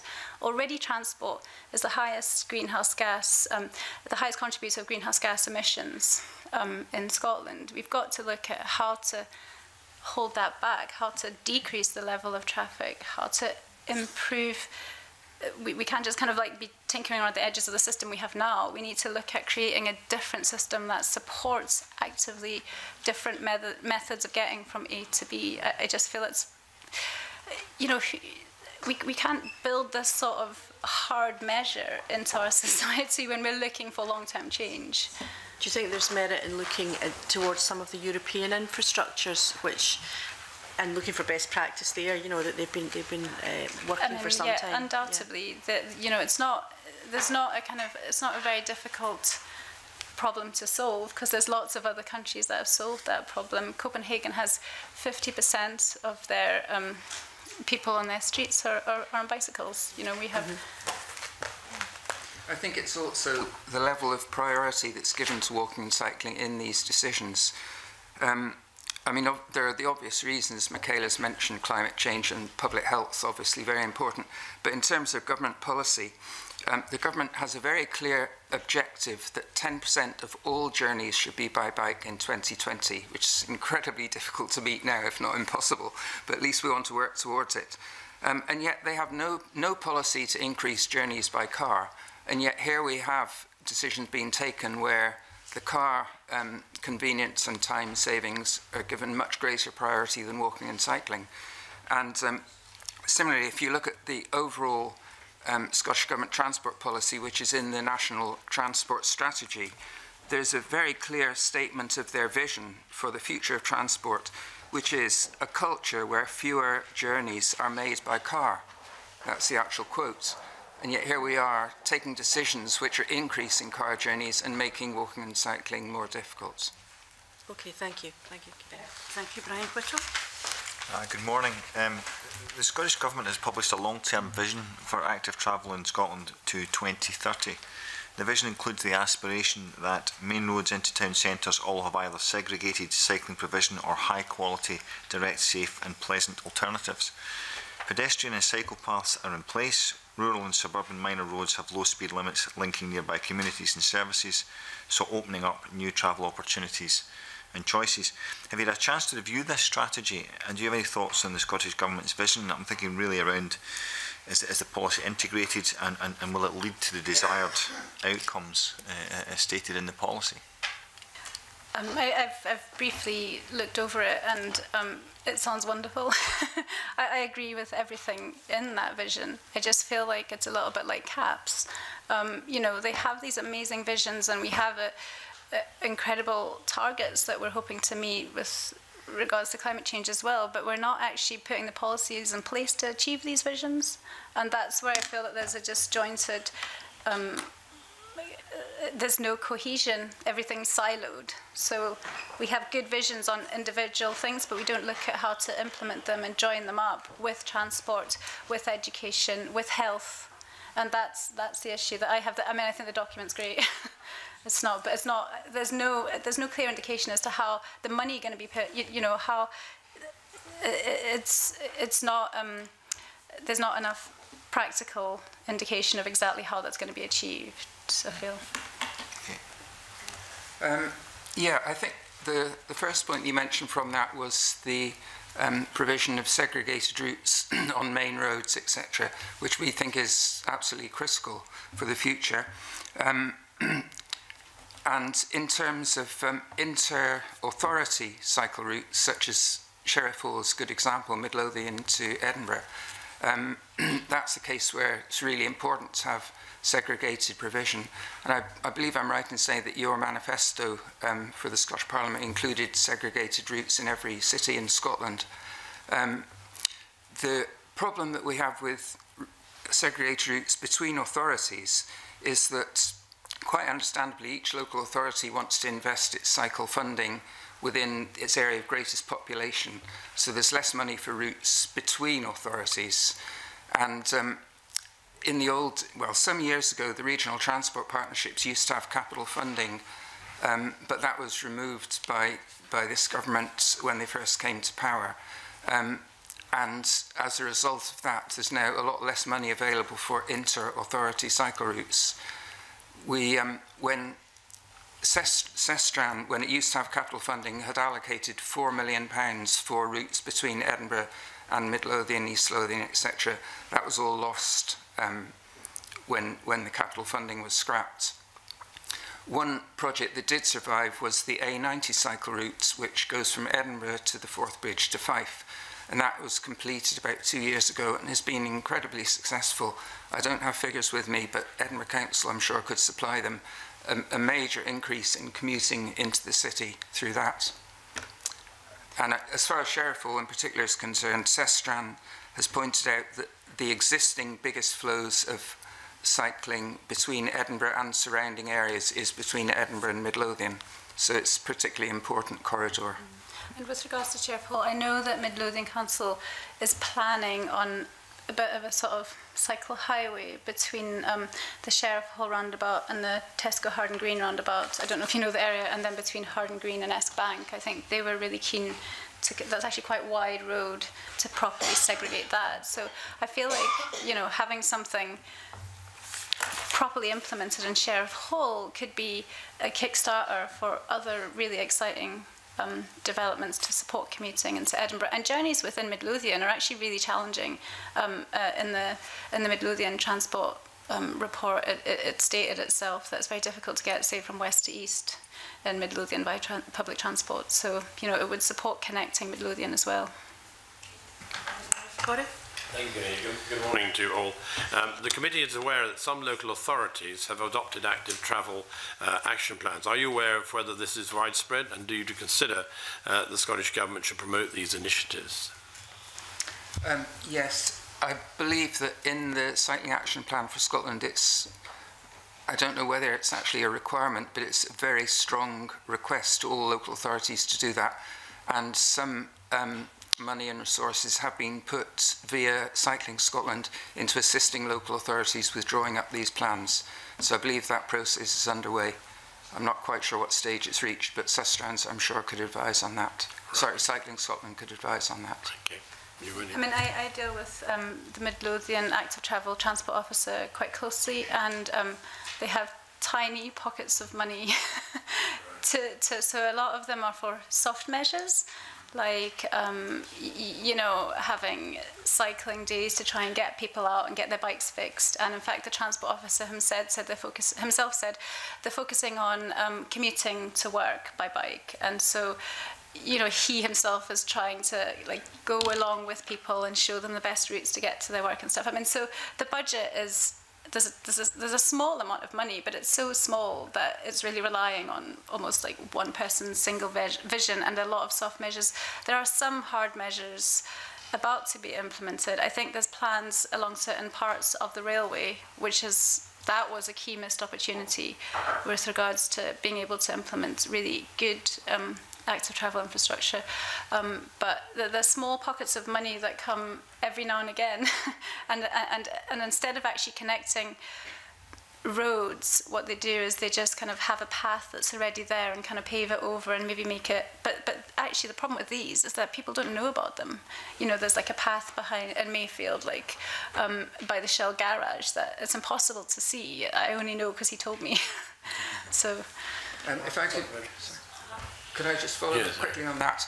Um, some years ago, the committee will presumably know there were regional trans there were regional councils rather than the present setup, and that meant that um, because the councils were much bigger, it was possible to set up expertise within each council on walking and cycling. And Lothian Region, for example, had a fantastic cycle team. When the um, regional councils were split up, Edinburgh was fine because it's still a fairly large local authority, but Midlothian, West Lothian, East Lothian all basically lost nearly all their expertise. and I think this is another place where regional transport authorities could really help considerably. And I know Sestran is trying to work on that to be able to build up regional expertise and provide assistance to all the smaller local authorities um, who just don't have the resources for it. I mean, that doesn't help with the capital funding, but it provides the expertise, which is the other, other side of the coin. Can just a short one. Following on from that, you've asked, answered half my question. I mean, what involvement have Sustrans had in this particular, well, reference to the option B and other options? Um, this is Sustrans as opposed to Sestran. Oh, sorry, right, okay. Yeah, because I was talking about Sestran. Sestran, all right, okay. Sestran in relation to the expertise for right. small local authorities. But in relation to Sheriff Hall Roundabout specifically, um, Sustrans has paid a great deal of attention to that. They did a very detailed assessment of the original options And um, as I said in my opening statement, they have said with regard to the option which the government has chosen as its preferred option, um, they have said that this option is so poor that they're unwilling to comment on the details and they feel the government should rethink which option it's going for. Right, okay, thank you. Thanks, Commissioner. Just following on from that last point, have Sustran told the government that they're unwilling to comment? um, yes, they've well, they've written a letter which um, is is publicly available. Uh, it's a letter to I don't know how you pronounce it, AECOM, who are the um, consultants which the government has taken on for the design. So this is a letter from Sustrans to AECOM, um, which is publicly available. That's, that's great. Um, a, a key part of your uh, petition is about the, the consultation process and how this feeds into the development of infrastructure projects. Do you have any suggestions as to, to how the Scottish Government could achieve a higher standard of uh, public consultation on active travel infrastructure? I don't, I mean, personally, I don't feel it's the consultation. I feel like there was a consultation, and I know that um, Robert was there, and he said he felt listened to and heard. And obviously, Sustrans have had their input, and spokes have had their input. So, so these people have been heard and listened to by the Scottish Government. But I feel like, despite that, priority is given then to the stag model, which says, you know, this is going to create this amount of time, uh, journey time saving. Um, but they, that stag model doesn't look at, for example, if we increase cycling by you know 10% for example how will that how will that decrease congestion? What will that have? What will the impacts um, to the local economy be by increasing cycling? What will the you know what will the CO2 emission savings be from that? So I feel like you know there's nothing wrong with that model in itself but it needs to be a lot broader and it needs to take into consideration you know different criteria. It's very narrow at the moment. I mean, um, I you know I have a master's degree, but did environmental assessment methods, and I feel like there's just nowhere near enough of that in that model. Okay, and, and just following on from that, um, uh, do you know whether figures or surveys of active travellers regularly feed into infrastructure projects in Scotland in general? Uh, and do you have any suggestions for how the Scottish Government could source that data? Uh, I know Dave mentioned um, sharing detail from Sustrans earlier? Um, I, I mean, I, I would look to Sustrans, but I don't.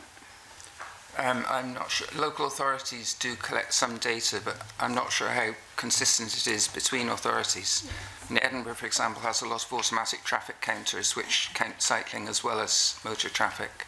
But I, I don't know the position in local authorities in general.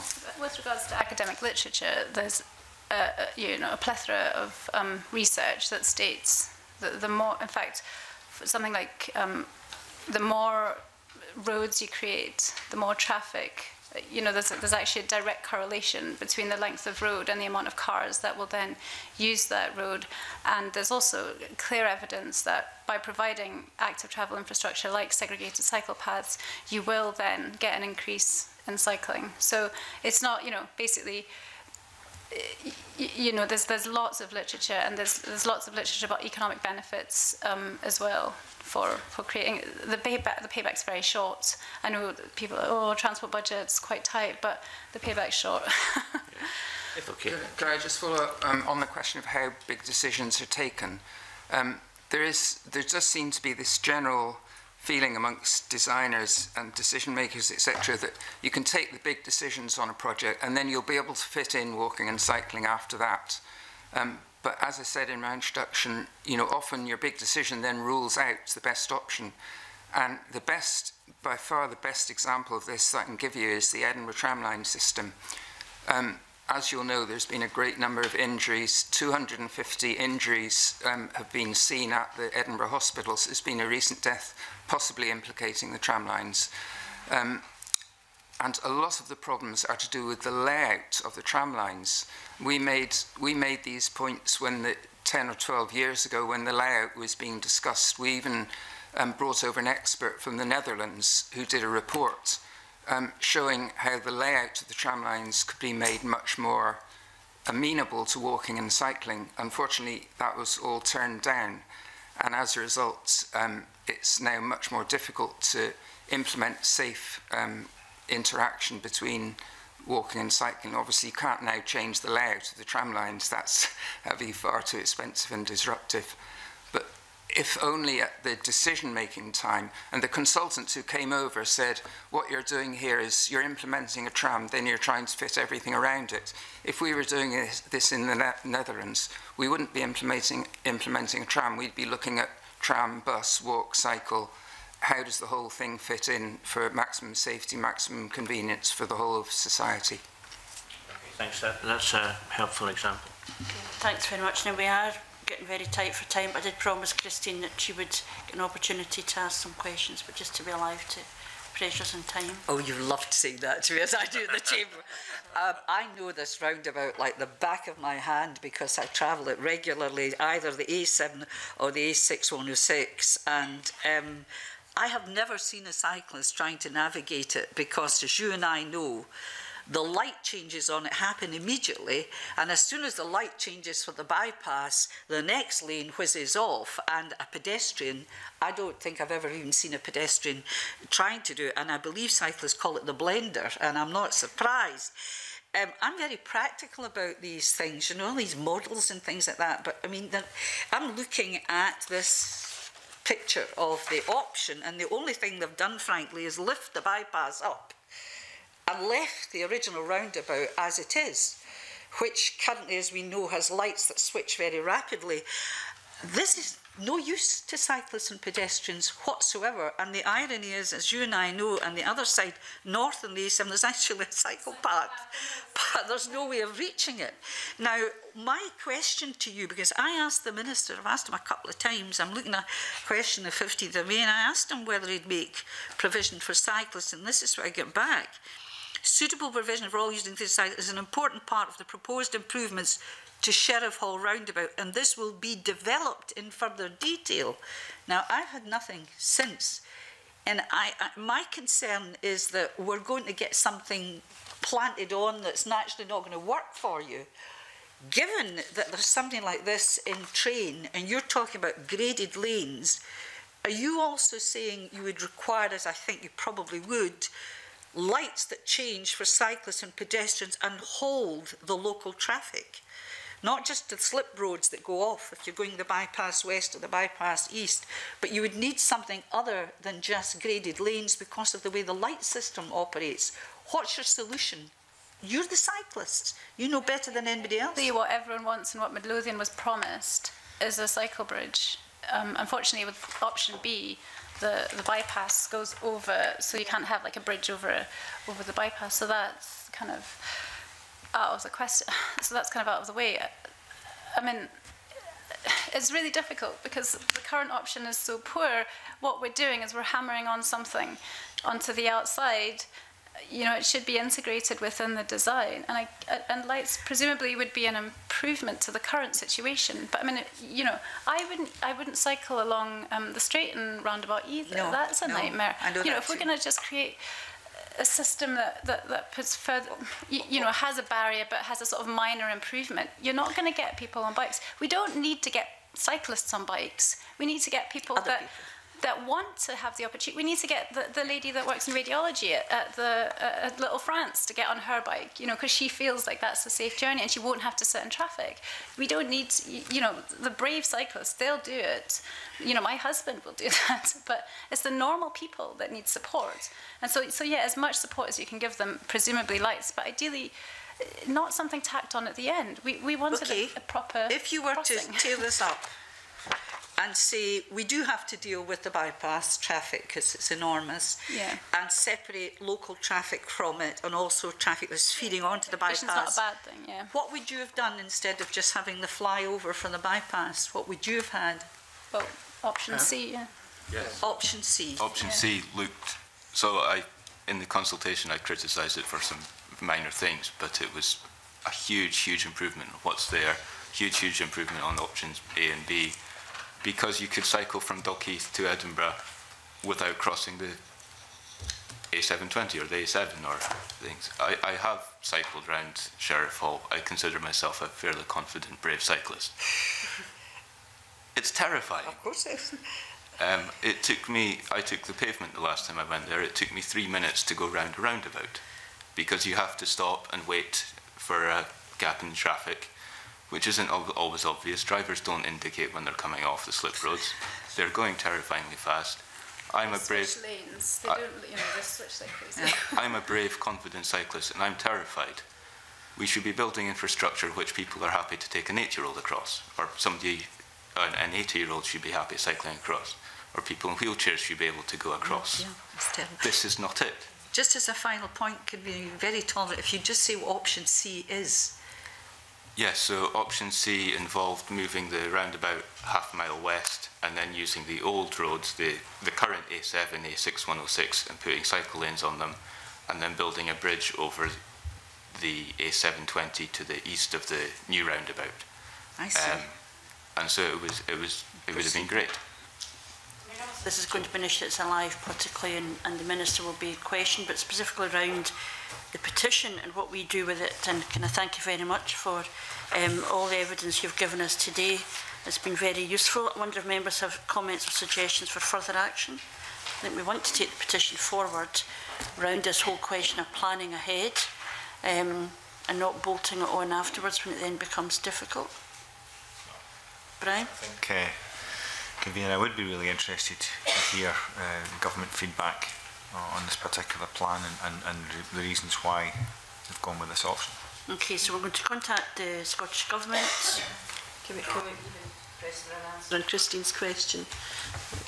That's, she's not really had much feedback from. Okay. It's very general, political make sure they're catered for yeah. and not actually practical. Yeah. Yeah. Well, it may be that we, I mean, in, in consultation with the clerks, we can see whether it would be actually worthwhile getting Scottish Government Minister in, uh-huh. um, as opposed to just simply being correspondence, but we can look at that. Are there other We mentioned sustrans, we Sustrans, might want to... Yeah, sustrans. And also, uh, Gavina uh, get uh, more emphasis on option C, which has been emphasised.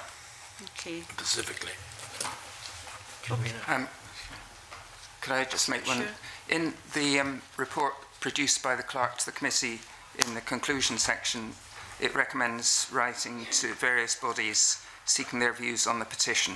Could I just suggest we add to that, seeking their views on the petition, both in respect of transport projects in general and specifically on the Sheriffhall roundabout?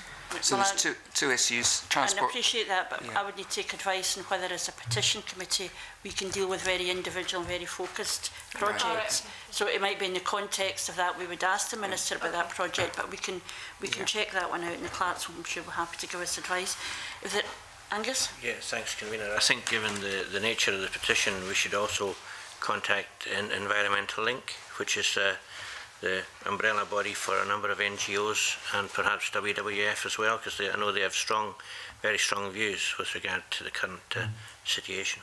Okay, I think these are a, a number of um, issues that we can and highlight, and we'll, we'll your direct question about whether we can seek views on the specific as well as the general, and um, we'll certainly come back to you on that. But can I thank you very much for your attendance, and I suspend the meeting to allow witnesses to leave the table.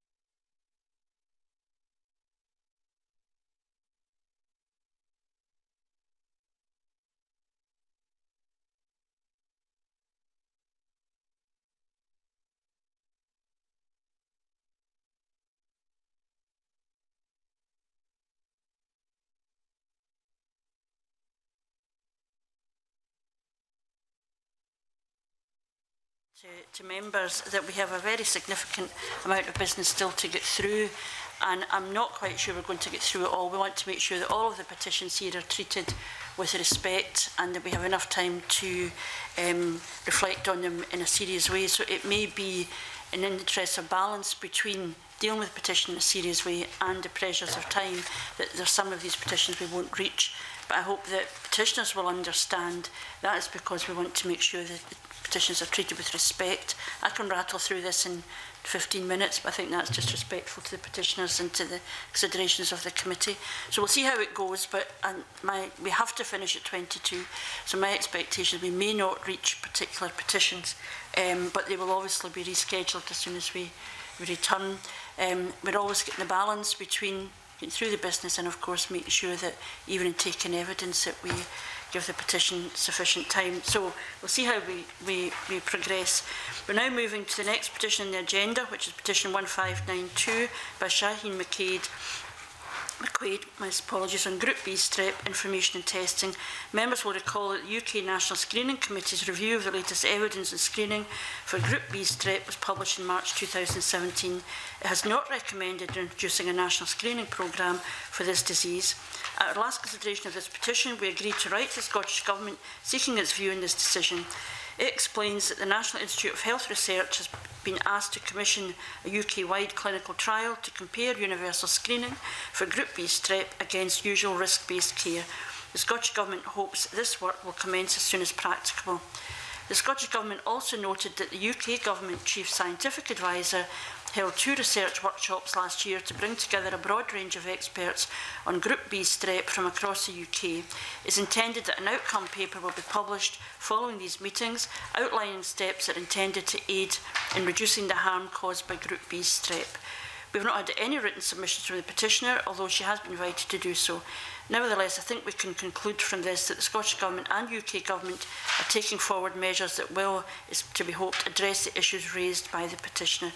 And I wonder if members have any comments or suggestions on action that we can take. Angus? Can I ask through you, convener, how um, through the uh, through you, convener, the clerks, how, how long um, they've been waiting for a response from the petitioner? Right. And I think it's from the beginning. Um, I think we very much appreciate the, the petitioner's submitting the petition, giving us the information, but she has not chosen to respond further. So um, I think that's obviously within her um, entitlement to do so. Absolutely, and, and um, I would congratulate the, the petitioner for um, making sure that this issue was uh, was on the radar. But um, I think, given your earlier comments, convener, um, I would be minded to close the petition under Standing Orders Rule 15.7 uh, given that the, the UK National Screening Committee has reviewed the latest evidence um, earlier this year and does not recommend screening for Group B Streptococcus, but has asked the National Institute of Health Research to commission a UK-wide clinical trial to compare universal screening for GBS against usual risk-based care. What would be the view of the rest of the committee? I think progress ha has been made and I, I think we've gone as far as we as we can with it. But and of course, there is always the option for somebody to bring back a further petition if they feel if, yeah. if it's there not isn't progress. Anywhere. So I think we are agreeing to close the petition yeah. as outlined um, by Angus, but I think we would want again to reiterate our thanks to the petitioner for the courage he demonstrated in bringing the petition and giving her personal testimony to the committee, which understandably is not easy, but I do think that has shone a light on a very important issue, and it's clear that at government level there is an awareness of that. If we can then move on to the next petition, which is petition 1621 on sepsis awareness, diagnosis and treatment, lodged by James Robertson. Members will recall that at our last consideration, we invited the Scottish Government to respond to questions raised by the petitioner with regard to ongoing work and measurements, training programmes and mapping. The Scottish Government has advised that the work in sepsis awareness and management continues within local boards as part of the deteriorating patients pathway. That work is monitored through national standard performance indicators and is supported by the Scottish Patient Safety Programme team.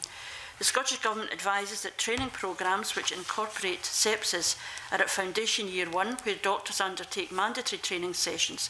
It notes that specific sepsis scenarios are included as a mandatory component for all doctors in the Advanced Life Support course and advises that nurses and other healthcare staff are able to access that course. It adds, however, that while these courses are delivered consistently across the entire Scottish healthcare system with the same mandatory components, there is no formal mapping process. The petitioner acknowledges the detail provided by the Scottish Government, but refers to his own personal experience to question the effectiveness of the training. He also notes a recent resolution by the World Health Organization urging all governments to raise awareness among their public of the symptoms of sepsis. He suggests that the Scottish Government might act on this by launching a national public awareness campaign to be led by NHS Scotland.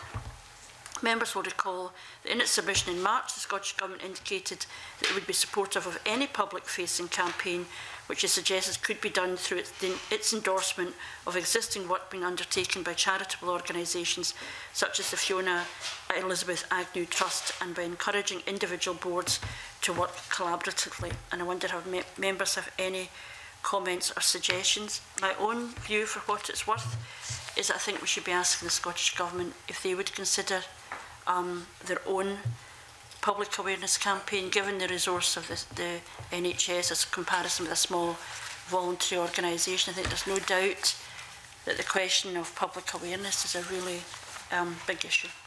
Brian? I'd also be quite interested to understand the, the sort of ongoing CPD process within the, uh, the health board itself. I think that's a, that, that seems to be a recurring theme that, uh, that, that's come up across a multitude of disciplines within the NHS. So that sort of CPD process seems to be uh, an issue. Continue Yeah. um, awareness training amongst the Yeah. clinicians. Yes. Angus? Yeah, thanks, Convener. I think that would be a, a sensible um, course of action, particularly given uh, the recent resolution by the World Health Organization uh, to launch a global, pub, global public awareness campaign uh, on sepsis. So uh, clearly, um, it would be good to get the Scottish Government's views on, on a Scottish one. Yeah. Okay.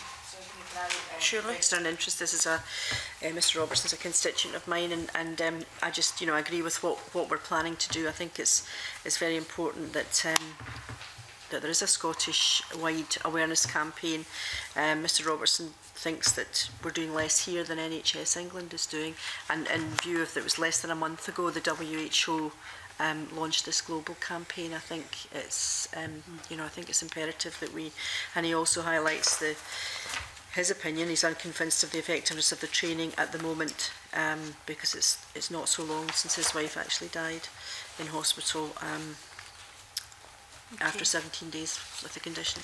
Okay, I think we, we, we do want to contact the Scottish Government then to ask um, that it does launch a national public awareness campaign and we would be interested in why they wouldn't want to do that given the importance of it and the, the, the World Health Organisation point and to ask about this training and, and refresh um, for clinicians. And I think we would also want again to, to thank the petitioner um, for pursuing this issue, which must be still very difficult for time for him because he has such a personal connection and awareness of direct um, impact of this on his own and his family's life.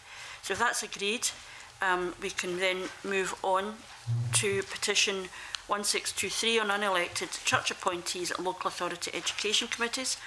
This petition is by Spencer Fieldays on behalf of the Scottish Secular Society. The Scottish Government has replied to our questions from our early, previous consideration and has confirmed that it will carry out an equality impact assessment on any policy changes made through its education governance review. It adds that it will address separately any proposals within the petition that are not addressed through its governance review. The Scottish Government has published information on the next steps in its education governance review. This was debated by the Parliament yesterday afternoon. The petitioner welcomes the commitment and clarification provided by the Scottish Government and I wonder if members have any comments or suggestions on how we may take this forward. Angus? Yes, thanks, Commissioner. I think the petition looks to or seems to have done its job, um, given that uh, the Scottish Government's given a commitment to consider the issues raised in the petition as part of the Education Governance Review uh, and has confirmed that it will carry out an equality impact assessment on any policy changes made through that review. So I would move to close the petition uh, under Standing Orders Rule 15.7. Okay. Views of other members? Maurice? I, I would not close the petition. I think we need to take the second, uh, the point about, um, let's look at it, let's look at the education reviews, next step documents, etc., and how it pertains to posi- petition. I think we should keep it open until such times as we have considered that as a, as a committee. The education, the only point I would make, I suppose, the education governance review is very, very massive. It's a big, big and wide-ranging document and review. There's a very small part of it. We have a choice. We can close it, and the petitioners can come back if they're unsatisfied with what the Scottish Government does in relation to the quality impact assessment, or as we can do as, as Maura suggests and keep it open. Um, I don't know whether other members have, of you. I mean, either way, it's not closing the opportunity for the, the member to bring it back. Keep it open at this stage. I'm not sure what could be gained by it until we know whether the petitioner's satisfied with the changes in the, the governance review. Brian? Never view? Eh, I'm, I'm being Kofi Annan here, uh, sitting on the fence. Um, I've, I've got this. I'm, I'm inclined to to um, I'm inclined to close. I've got to be honest, uh, given that the petitioner has the option to come back again. I think it's always a fine balance, and I think this question of when we close a petition and not is something that you know, shaped the history of the of the um, the petition committee itself. I think we recognise the issues. The Scottish Government has said it's going to address it. I think we would then, um, you know, the, the, the opportunity to repetition if they're unhappy with what the the Scottish Government has done on this question is open. It may also be that we could just refer flag not refer the petition to the Education Committee, but flag up to the Education Committee, who will be scrutinising the response to the government. This has been a particular issue that's been highlighted, and ask them to at least ensure that it's part of their scrutiny. Would that cover it? That's actually, that's actually a good point. Yeah. Okay. Mm -hmm. Yes. I, I certainly don't think we should close it. I mean, I, I must oh. stand by my original statement from my experience on the education committees over in the councils. So I'm sorry I don't agree with the rest, but I, I think, yes, it should be flagged up with the education committee, but I, I stand where I stand. Okay, that's helpful. I think on balance, I mean, across, across the committee, we don't agree with you. Um, I think that's my, I think we understand the point you're making, um, but I'm wondering if I think the general view or the majority view is that we do close the petition. Angus? I was just going to say I've also served on education committees at uh, local authority level, and um, uh, I'm pleased to see that the, the, the, the Scottish Government have given the commitment to consider uh, the issues raised. Um, so I'm still minded to close the petition. Okay. If you wanting to push it, we'll just have a vote for the purpose of recording it, Morris. Sorry, I, I do stand okay. by what I say. In that so case, take that as you wish. In that case, I'm moving that the petition is closed on the basis of what we have said, with reassurance that Education Committee would get the opportunity to, or would have flagged up to them this issue, and the petition may be able to return to a later stage if unsatisfied with Scottish Government. Can you see those in favour of that proposal? Against? Okay, so that's carried. And you've abstained. Three, one, and a fence sitter. No, that's entirely within your rights to do so. Okay, I think that's, you know, obviously we recognise that there are important issues there. And we would also want to thank the petitioner for bringing this question to the attention of the Parliament and to the Government. If we can move on to petition 1626 on the regulation of bus services. The next petition is by Pat Rafferty on behalf of Unite Scotland. Petition 1626 on the regulation of bus services. The Scottish Government has provided the clarification we sought following our previous consideration of this petition and has advised that improved partnership working and franchising will be elements of the full consultation in the proposed Transport Bill. We have not received a, a response from the petitioners, but can ask members if they have any comments or suggestions for action. Brian? Again, it would be interesting to uh, find from the Scottish Government when the sort of timescale for um, the consultation on the proposed transport bill, and perhaps um, ask them at, at the earliest opportunity to engage with the petitioner. Okay.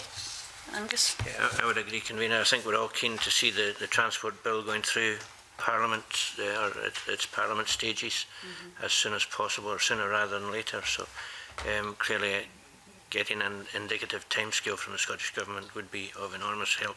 Yeah. And a commitment to address the issues that have been flagged up, particularly around, I think that, you know, the provision of services across effective bus services across the country, um, which was obviously raised with us. So it's agreed then, we write to Scottish Government seeking an indicative timetable for its full consultation of the proposed transport bill and task that the government engage with the petitioners, as Brian has already said. Is there any, anybody else? It may be that we also just go back to the petitioner and just... Um, it may be that they've been caught up with so many other different things they've not been able to respond. Okay, If we can then move on to petition 1629, MRI scans for ocular melanoma sufferers in Scotland. The next petition is petition 1629 on MRI scans for ocular melanoma sufferers in Scotland, lodged by Jennifer Lewis. We have received submissions from the Chief Medical Officer and the petitioner. The Chief Medical Officer has provided her views on the action called for in the petition, essentially supporting the Scottish Government's views set out in its submission from March in that the specialist Scottish ophthalm ophthalmic oncology service follows national guidelines which were accredited by NICE. She explains that it's her understanding that the guidelines will be reviewed in December 2019, but that an intermediate review would be carried out if any new evidence becomes available before then. The petitioner's submission argues that new evidence has already been presented, both during the course of her evidence to the committee on 2 February and also in her submission of 12th April. Her submission is supported by Ian Galloway, who members will recall presented evidence to us alongside the petitioner in February. He notes that in the rest of the UK, if a patient requests an MRI scan, they're able to get it, even if the centre does not offer that facility for first-line surveillance. The petitioner Anine Galloway also queried information provided by the Chief Medical Officer with regard to research being undertaken on the use of ultrasound for first-line surveillance. They regard this as futile and a backward step when ultrasound is already known to be inferior to MRI. In addition, they note that it could take up to two years for the research to gather sufficient statistically significant data due to the small number of patients and compare the cost implications of the time and resources spent in this research against the additional cost of providing MRI scans. The Chief Medical Officer refers in her submission to a recent Commissioning for Quality and Innovation meeting at which it was agreed that, quote, a UK-wide group would be formed to develop UK-wide guidance and recommendations on surveillance. Ian Galloway indicates that he would wish to understand more about the effect any UK-wide group could have and welcome sight of the minutes to get a fuller picture. For her part, the petitioner regards the, the formation of a UK-wide group as, quote, a potential step in the right direction and can invite any comments or suggestions from members.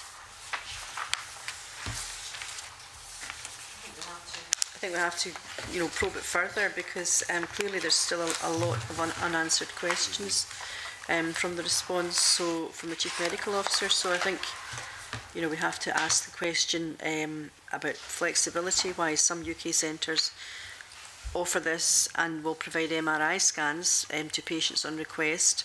Um, you know, we need a time scale for the formation of the, the UK-wide group, um, which is going to undertake the work, and then just the various other points raised by the petitioner. I think we need to probe a wee bit further and get some more answers to views.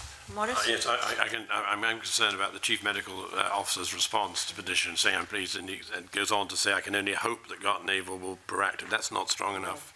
That is severely concerning to me, uh, and therefore I think we have something more positive to say that. And also, I'd like, I think writing to NICE is going to be a productive way forward as well. Um, so we need, to, we need to get them to button down this. Uh, it's not satisfactory the way it is. Any other views? Agreed. Is that agreed? I, I, I, I think I recall from the petition we found the evidence compelling. Mm -hmm. The MRI scans help, um, help diagnosis and help you know the scale of the problem. And it's not clear why that would be something that wouldn't routinely be offered in Scotland if it's been offered elsewhere. So I think again, and you know the points around new evidence and so on are, are made um, well by the petitioner. So if that's agreed, um, this petition will obviously come back to us when we've got that information. Okay, if we can then move on. The next petition on the agenda is petition 1630 by Fiona Webb on nursery funding for three-year-olds. Members will recall that at our last consideration of the petition, we asked the Scottish Government for an update on its response to the consultation and its plans to expand early learning and response to the sorry, in childcare provision in Scotland. This includes a commitment to increase the current entitlement of free early learning and childcare entitlement to 1,140 hours. Members will see from the clerk's note that the issue of parents' ability to access the full entitlement for their children was raised when the Minister made his policy statement. The Minister noted that the Scottish Government considers that the current arrangement provides sufficient flexibility to local authorities to provide the entitlement to address the issue. The petitioner has been invited to comment on the Scottish Government's response, but submission has not been received. And I wonder if members have any suggestions or comments um, on how we might take this forward.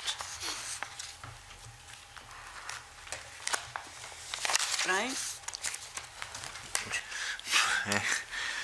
I think th- th- this this particular petition and this particular topic is is is uh, uh, a, a very interesting one in Parliament. I think there's a lot of uh, a lot of toing froing um, been around this one, and, and um, I think the, I think the, go- the government's position's been fairly well stated, um, and I don't think they're of mind to move at this current juncture. Um, and I wonder, therefore, without a further submission from the petitioner, whatever way we feel on this particular topic, whether it's uh, viable to keep the petition open, even though, to me, it's, it's a, a really fundamental issue. I think it's a very live issue here and people are watching closely the ability of the Scottish Government to implement its childcare strategy. And that, again, as I know as a member of the Education Committee, we've looked at the planning process around that and um, that will be something I've no doubt that other committees of Parliament will be looking at. That in the North, it's a kind of issue that will secure parliamentary scrutiny, whether it specifically deals with this issue around um, the third birthday question. Well, that that will obviously be seen have replied saying that you know that local authorities do now have the flexibility to, to you know that's within their discretion to offer entitlement at an earlier stage. So I mean I think that's obviously there'll be a watchful eye kept in it all, but but um, I, I don't think you know I think that's as far as we can go with this petition. I would uh, suggest closing it. Sure, we agreeing that we would close the petition on the basis the Scottish Government has published an action plan for the expansion of early mm. learning and childcare in Scotland and has made a commitment to publish an evaluation report of the expansion by the end of 2017. And again, there'll be an opportunity for the petitioner sure, to revisit to this back, if they yeah. feel that that's not mm-hmm. yeah. been addressed. Um, is that agreed then? Agreed. Okay, so we're agreeing to close the petition. Can I again thank the petitioner for bringing the petition and highlighting an issue that's clearly of concern and has, has been an issue that's been addressed in Parliament, not just in the Petitions Committee itself. Okay, if we can then move on. The next item on the agenda is petition 1632 by Amanda MacDonald and concessionary transport for carers. Members will recall at our last meeting we agreed to seek the view of a number of stakeholders.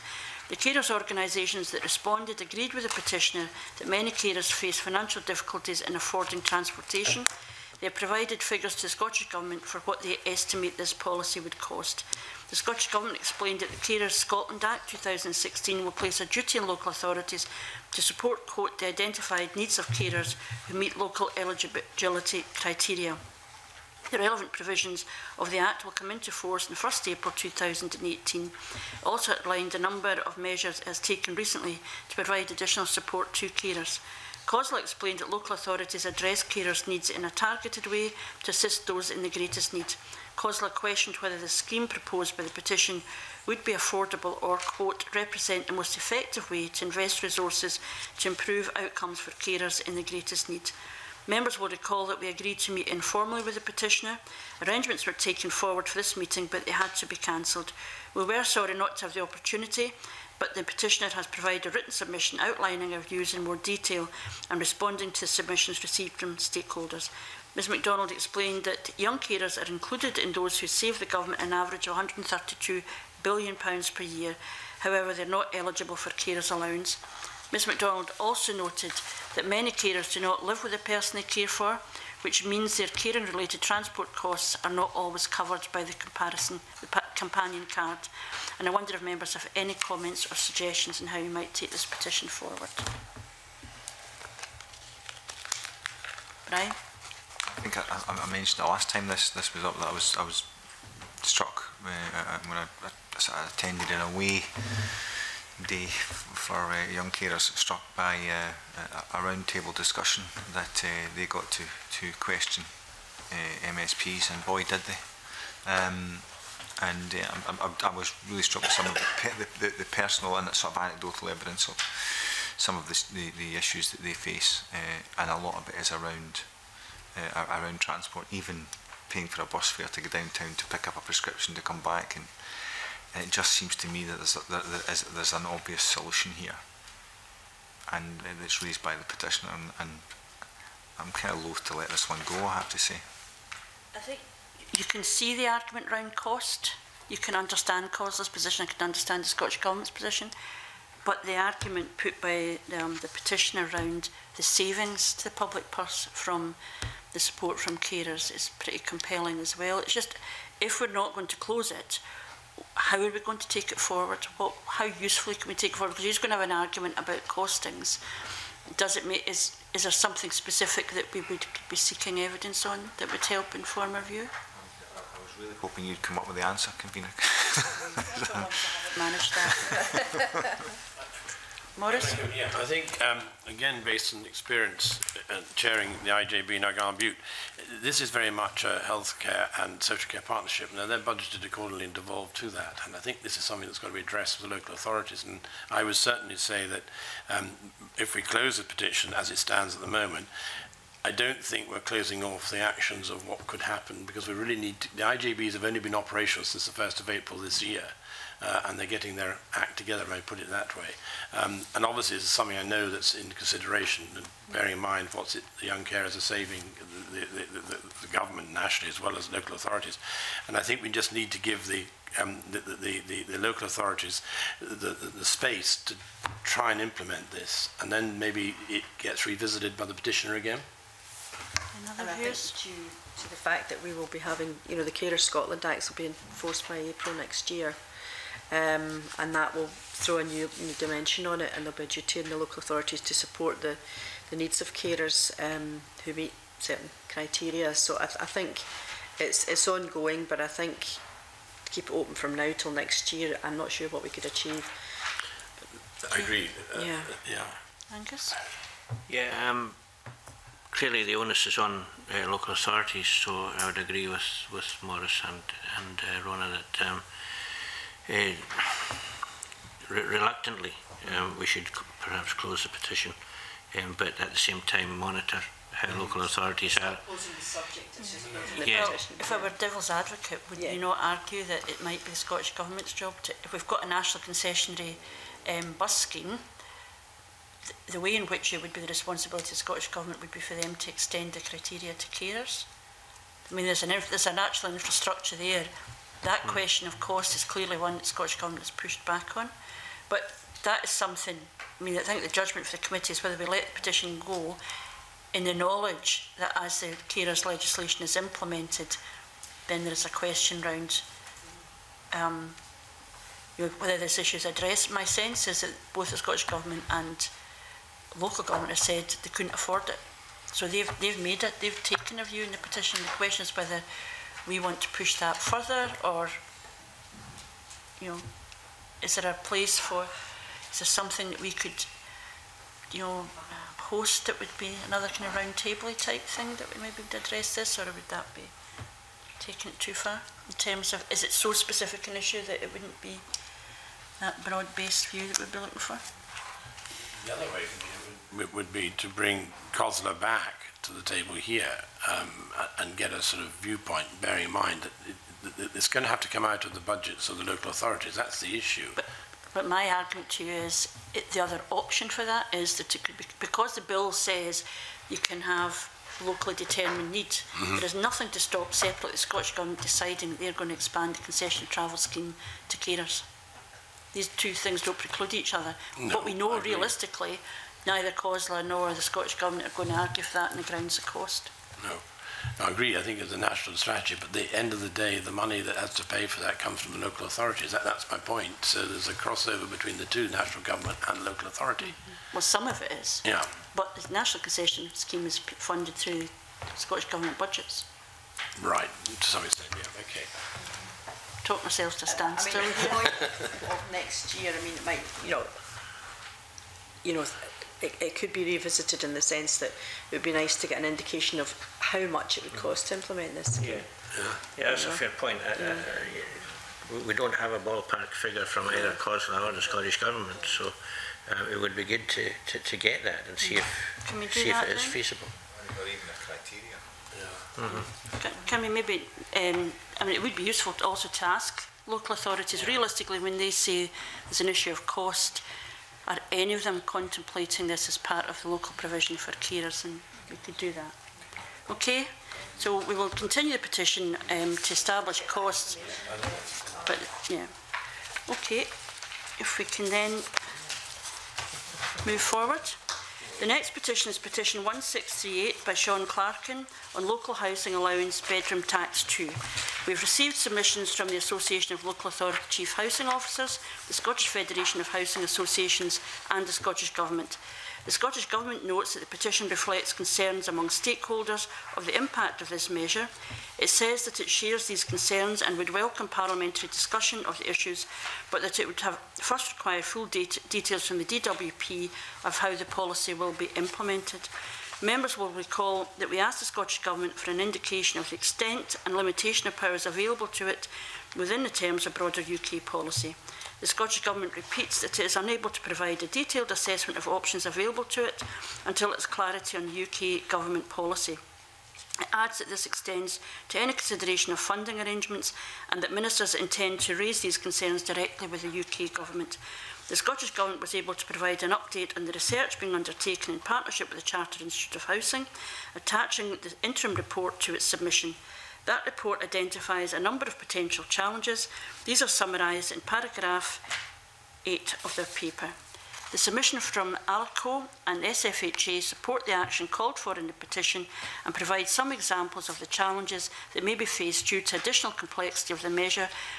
Both submissions identify the measure as more complex than the so-called bedroom tax, making it far more difficult for the Scottish Government to mitigate the impact. The petitioner considers that the submissions demonstrate the concerns that exist about the policy and make it clear about the difficulties in mitigating the impact. He repeats his call for a parliamentary debate on the issue, and I wonder if members have any comments or suggestions. I mean, I was certainly very struck by the, by the response from housing organisations in particular, um, the impact for their tenants, um, an impact on particular groups, including um, single young men, I think they highlight was a particular issue. And I am a bit disturbed at the lack of detail they have. About, I mean, even if we were to ask the Scottish Government to consider mitigating the policy, then actually they don't have the detail in, with which they, they can do that. Or the resources, perhaps, convener. I mean, how, how far do we go to, yeah. to mitigate the impacts? You know, there's no bottomless pit with regard to money. I think it would be useful to find out when the Scottish Government want, is going to raise the issue uh, on funding arrangements with the UK Government and, um, you know, to, to tease more detail out on, on, on all that and whether or not it plans to have a parliamentary debate. I mean, it's certainly something, I mean, we've already um, scheduled two uh, requests for debates from mm. earlier business. It's something we could certainly look at, although I don't think at this stage we've got enough information for that. No.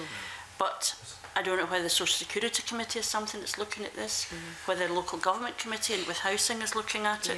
Yeah. Um, and I think we would want to be flagging up to the relevant subject committees and asking them whether they've got Absolutely. this focus. Is it, is it on the radar? Mm. Yeah, on, I, is it on, I agree. Because, and I think partly because, as we see from the evidence, it's both a substantial issue, but it's quite a technical issue. Yeah. And that for organisations, SFHA and um, ALCO to be highlighting that would suggest that they're working on it, but whether it's worked its way through into the parliamentary process, we wouldn't be sure. I would I fully expect that this would end up as a parliamentary debate. but I think it would be interesting to check with the subject committees whether they're actually exploring this. Um, and you know, I don't know whether there are um, other issues that we could take forward at this stage. Uh, Brian? No, I'm just, just going to say, um, oh, I, I'm, um, I think that if, if other, other committees are gathering evidence uh, as well, it'd be, um, it'd be really interesting. I'd prefer if us all to gather that evidence together because, it's, as you say, it's a, uh, it, it's quite a complex uh, uh issue to deal with. Suggest that we also we could write directly to the DWP asking them where they are in the process what their timescales are for the details and whether they've done an assessment of the impact of their own policy. Um, and if they don't write direct, you know, I, the clerks will give us advice on whether we write to the minister or we write to the department. Um, but that is obviously something that we could take forward. My sense is that we don't want to let the petition go to the relevant subject committee at this stage. We would still want to be getting further information about how this is. Now, it may be that in the world of uncertainty that we're living in, this may be one of the things that's fallen off the agenda at UK level, which I think most of us would welcome. But equally, it may be something that simply has not got a focus on it, but is being pursued at a departmental level. And we would be want to be we want to be aware of that as well. Angus? Yeah, um, I think uh, this committee should um, reserve the right uh, for the time being to initiate a, a chamber debate yes. if there is no uh, willingness from the Scottish Government to initiate a debate, which I hope there is. Um, but if not, then, then we, we should uh, keep that on the agenda. Absolutely. And I, I think that our option for a, um, a, a parliamentary debate would be informed by the further information that we've got. So I don't think we want the... I don't think we would drive a parliamentary debate ahead of that information, um, but I certainly think in illuminating this question to the other committees, then we are perhaps creating a trigger for them to be asking these kinds of questions um, as well. So we're writing to the Scottish Government, we're highlighting it to relevant subject committees and we're going to contact the DWP directly in terms of, of what they have done.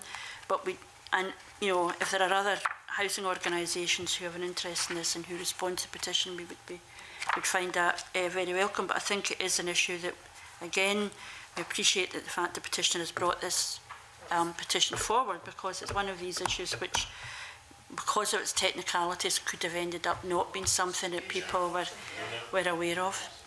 Okay, so if that's agreed, can we move on to our final petition? Um, for consideration this morning is petition 1643, lodged by Jack Douglas on behalf of NUS Scotland um, on introducing individual risk-based blood donation in Scotland. The petition calls for a change to the regulations to prevent people from within the LGBT plus community from donating blood and to move to an evidence-based system that examines people on their individual risk to provide blood. Members have copies of the submissions received from the Scottish Government, Scottish National Blood Service, and can I just suspend two minutes?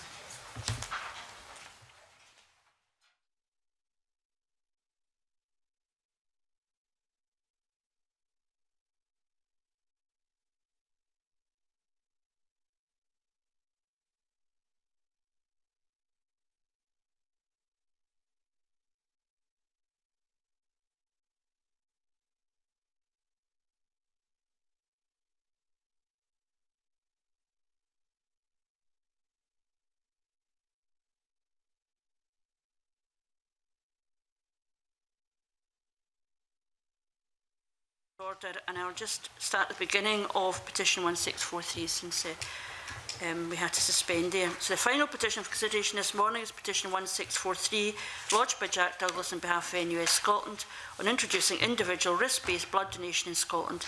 Petition calls for a change to the regulations that prevent people from within the LGBT plus community from donating blood and to move to an evidence-based system that examines people and their individual risk to provide blood. Members have copies of the submissions received from the Scottish Government, Scottish National Blood Transfusion Service, Terrence Higgins Trust, HIV Scotland and the Equality Network. The Minister for Public Health and Sport says that the Scottish Government is very much open to revising the deferral criteria for men who have sex with men and other categories of donors and is sympathetic to the argument that a 12-month deferral period may no longer be necessary for some groups of potential donors given the improvements in blood testing, blood screening tests. The stakeholder submissions also indicate support for a revision of the current rules and deferrals and speculate on potential recommendations coming out of the review conducted by the Donor Selection Working Group of the Advisory Committee on the Safety of Blood Tissue and Organs. The SNBTS submission indicates understanding the Working Group was due to report earlier this month with subsequent recommendations to be made re to made relevant ministers and health departments of the devolved administrations. It may assist our consideration of the petition if we can get some confirmation of that. Each of the submissions also expressed support for the suggestion of a move to, to an individual risk-based system, considering that it could eliminate discrimination and improve confidence in the system. SNBTS supports the concept in principle, but suggests that a lack of evidence, interpretation of individual risk assessment and time and resource constraints have an impact on the feasibility of such a move. It adds an online confidential donor selection portal, as suggested by the petitioners during evidence to the committee, would be possible to implement, but would have to be scoped, designed and constructed. And I wonder if members have any comments or suggestions on what action we might take. Um, I had a members debate on this um, this subject. Um, I think we're at a stage now where we need to seek an update basically on, on, on what's you know what's been going on, uh, an update from the government and from SABTO on this the status of the review uh, being undertaken by the donor selection working group, and I, I think there's a, a cross party um, group in Westminster meeting next month as well. So you know I think okay. it I think it's time just to regroup okay. and have an update. Given the constraints of time, can I assume that the Yep. The committee agrees with that. So yes, seek an update yeah. and, and we can um, pursue the issues from there. Can I just, in conclusion, um, thank all the members of the committee and the clerks to the committee and the official report and everyone who supports the committee for all, everything, all their help and support over the last year. I think we can be proud of the work that we've done, um, the number of petitions we've dealt with and the opportunity we've afforded petitioners to raise a whole range of issues with us. So I just thank everyone, and I should also thank Spice, because I think they have a particular role um, in this committee that they maybe are more burdened than by others. And finally, can I just thank Maurice Corey. I'm very sorry to hear that he is leaving the committee, but we've, it's been a pleasure working with you, Maurice, and we wish you well in your new committee and we can always invite you back when you're coming to support individual um, petitions and we look forward to working with your colleague um, when she becomes a member of the committee. So with that, can I... I've also been appointed as uh, to into the committee, so, so with I, may that, be, I may I, be back. uh, wish everybody all the best for the summer and look forward to seeing you um, in September. Thank With you that, very much close the that. meeting. Thank, Thank you. you. Thank you, Convener. Thanks to you, Convener.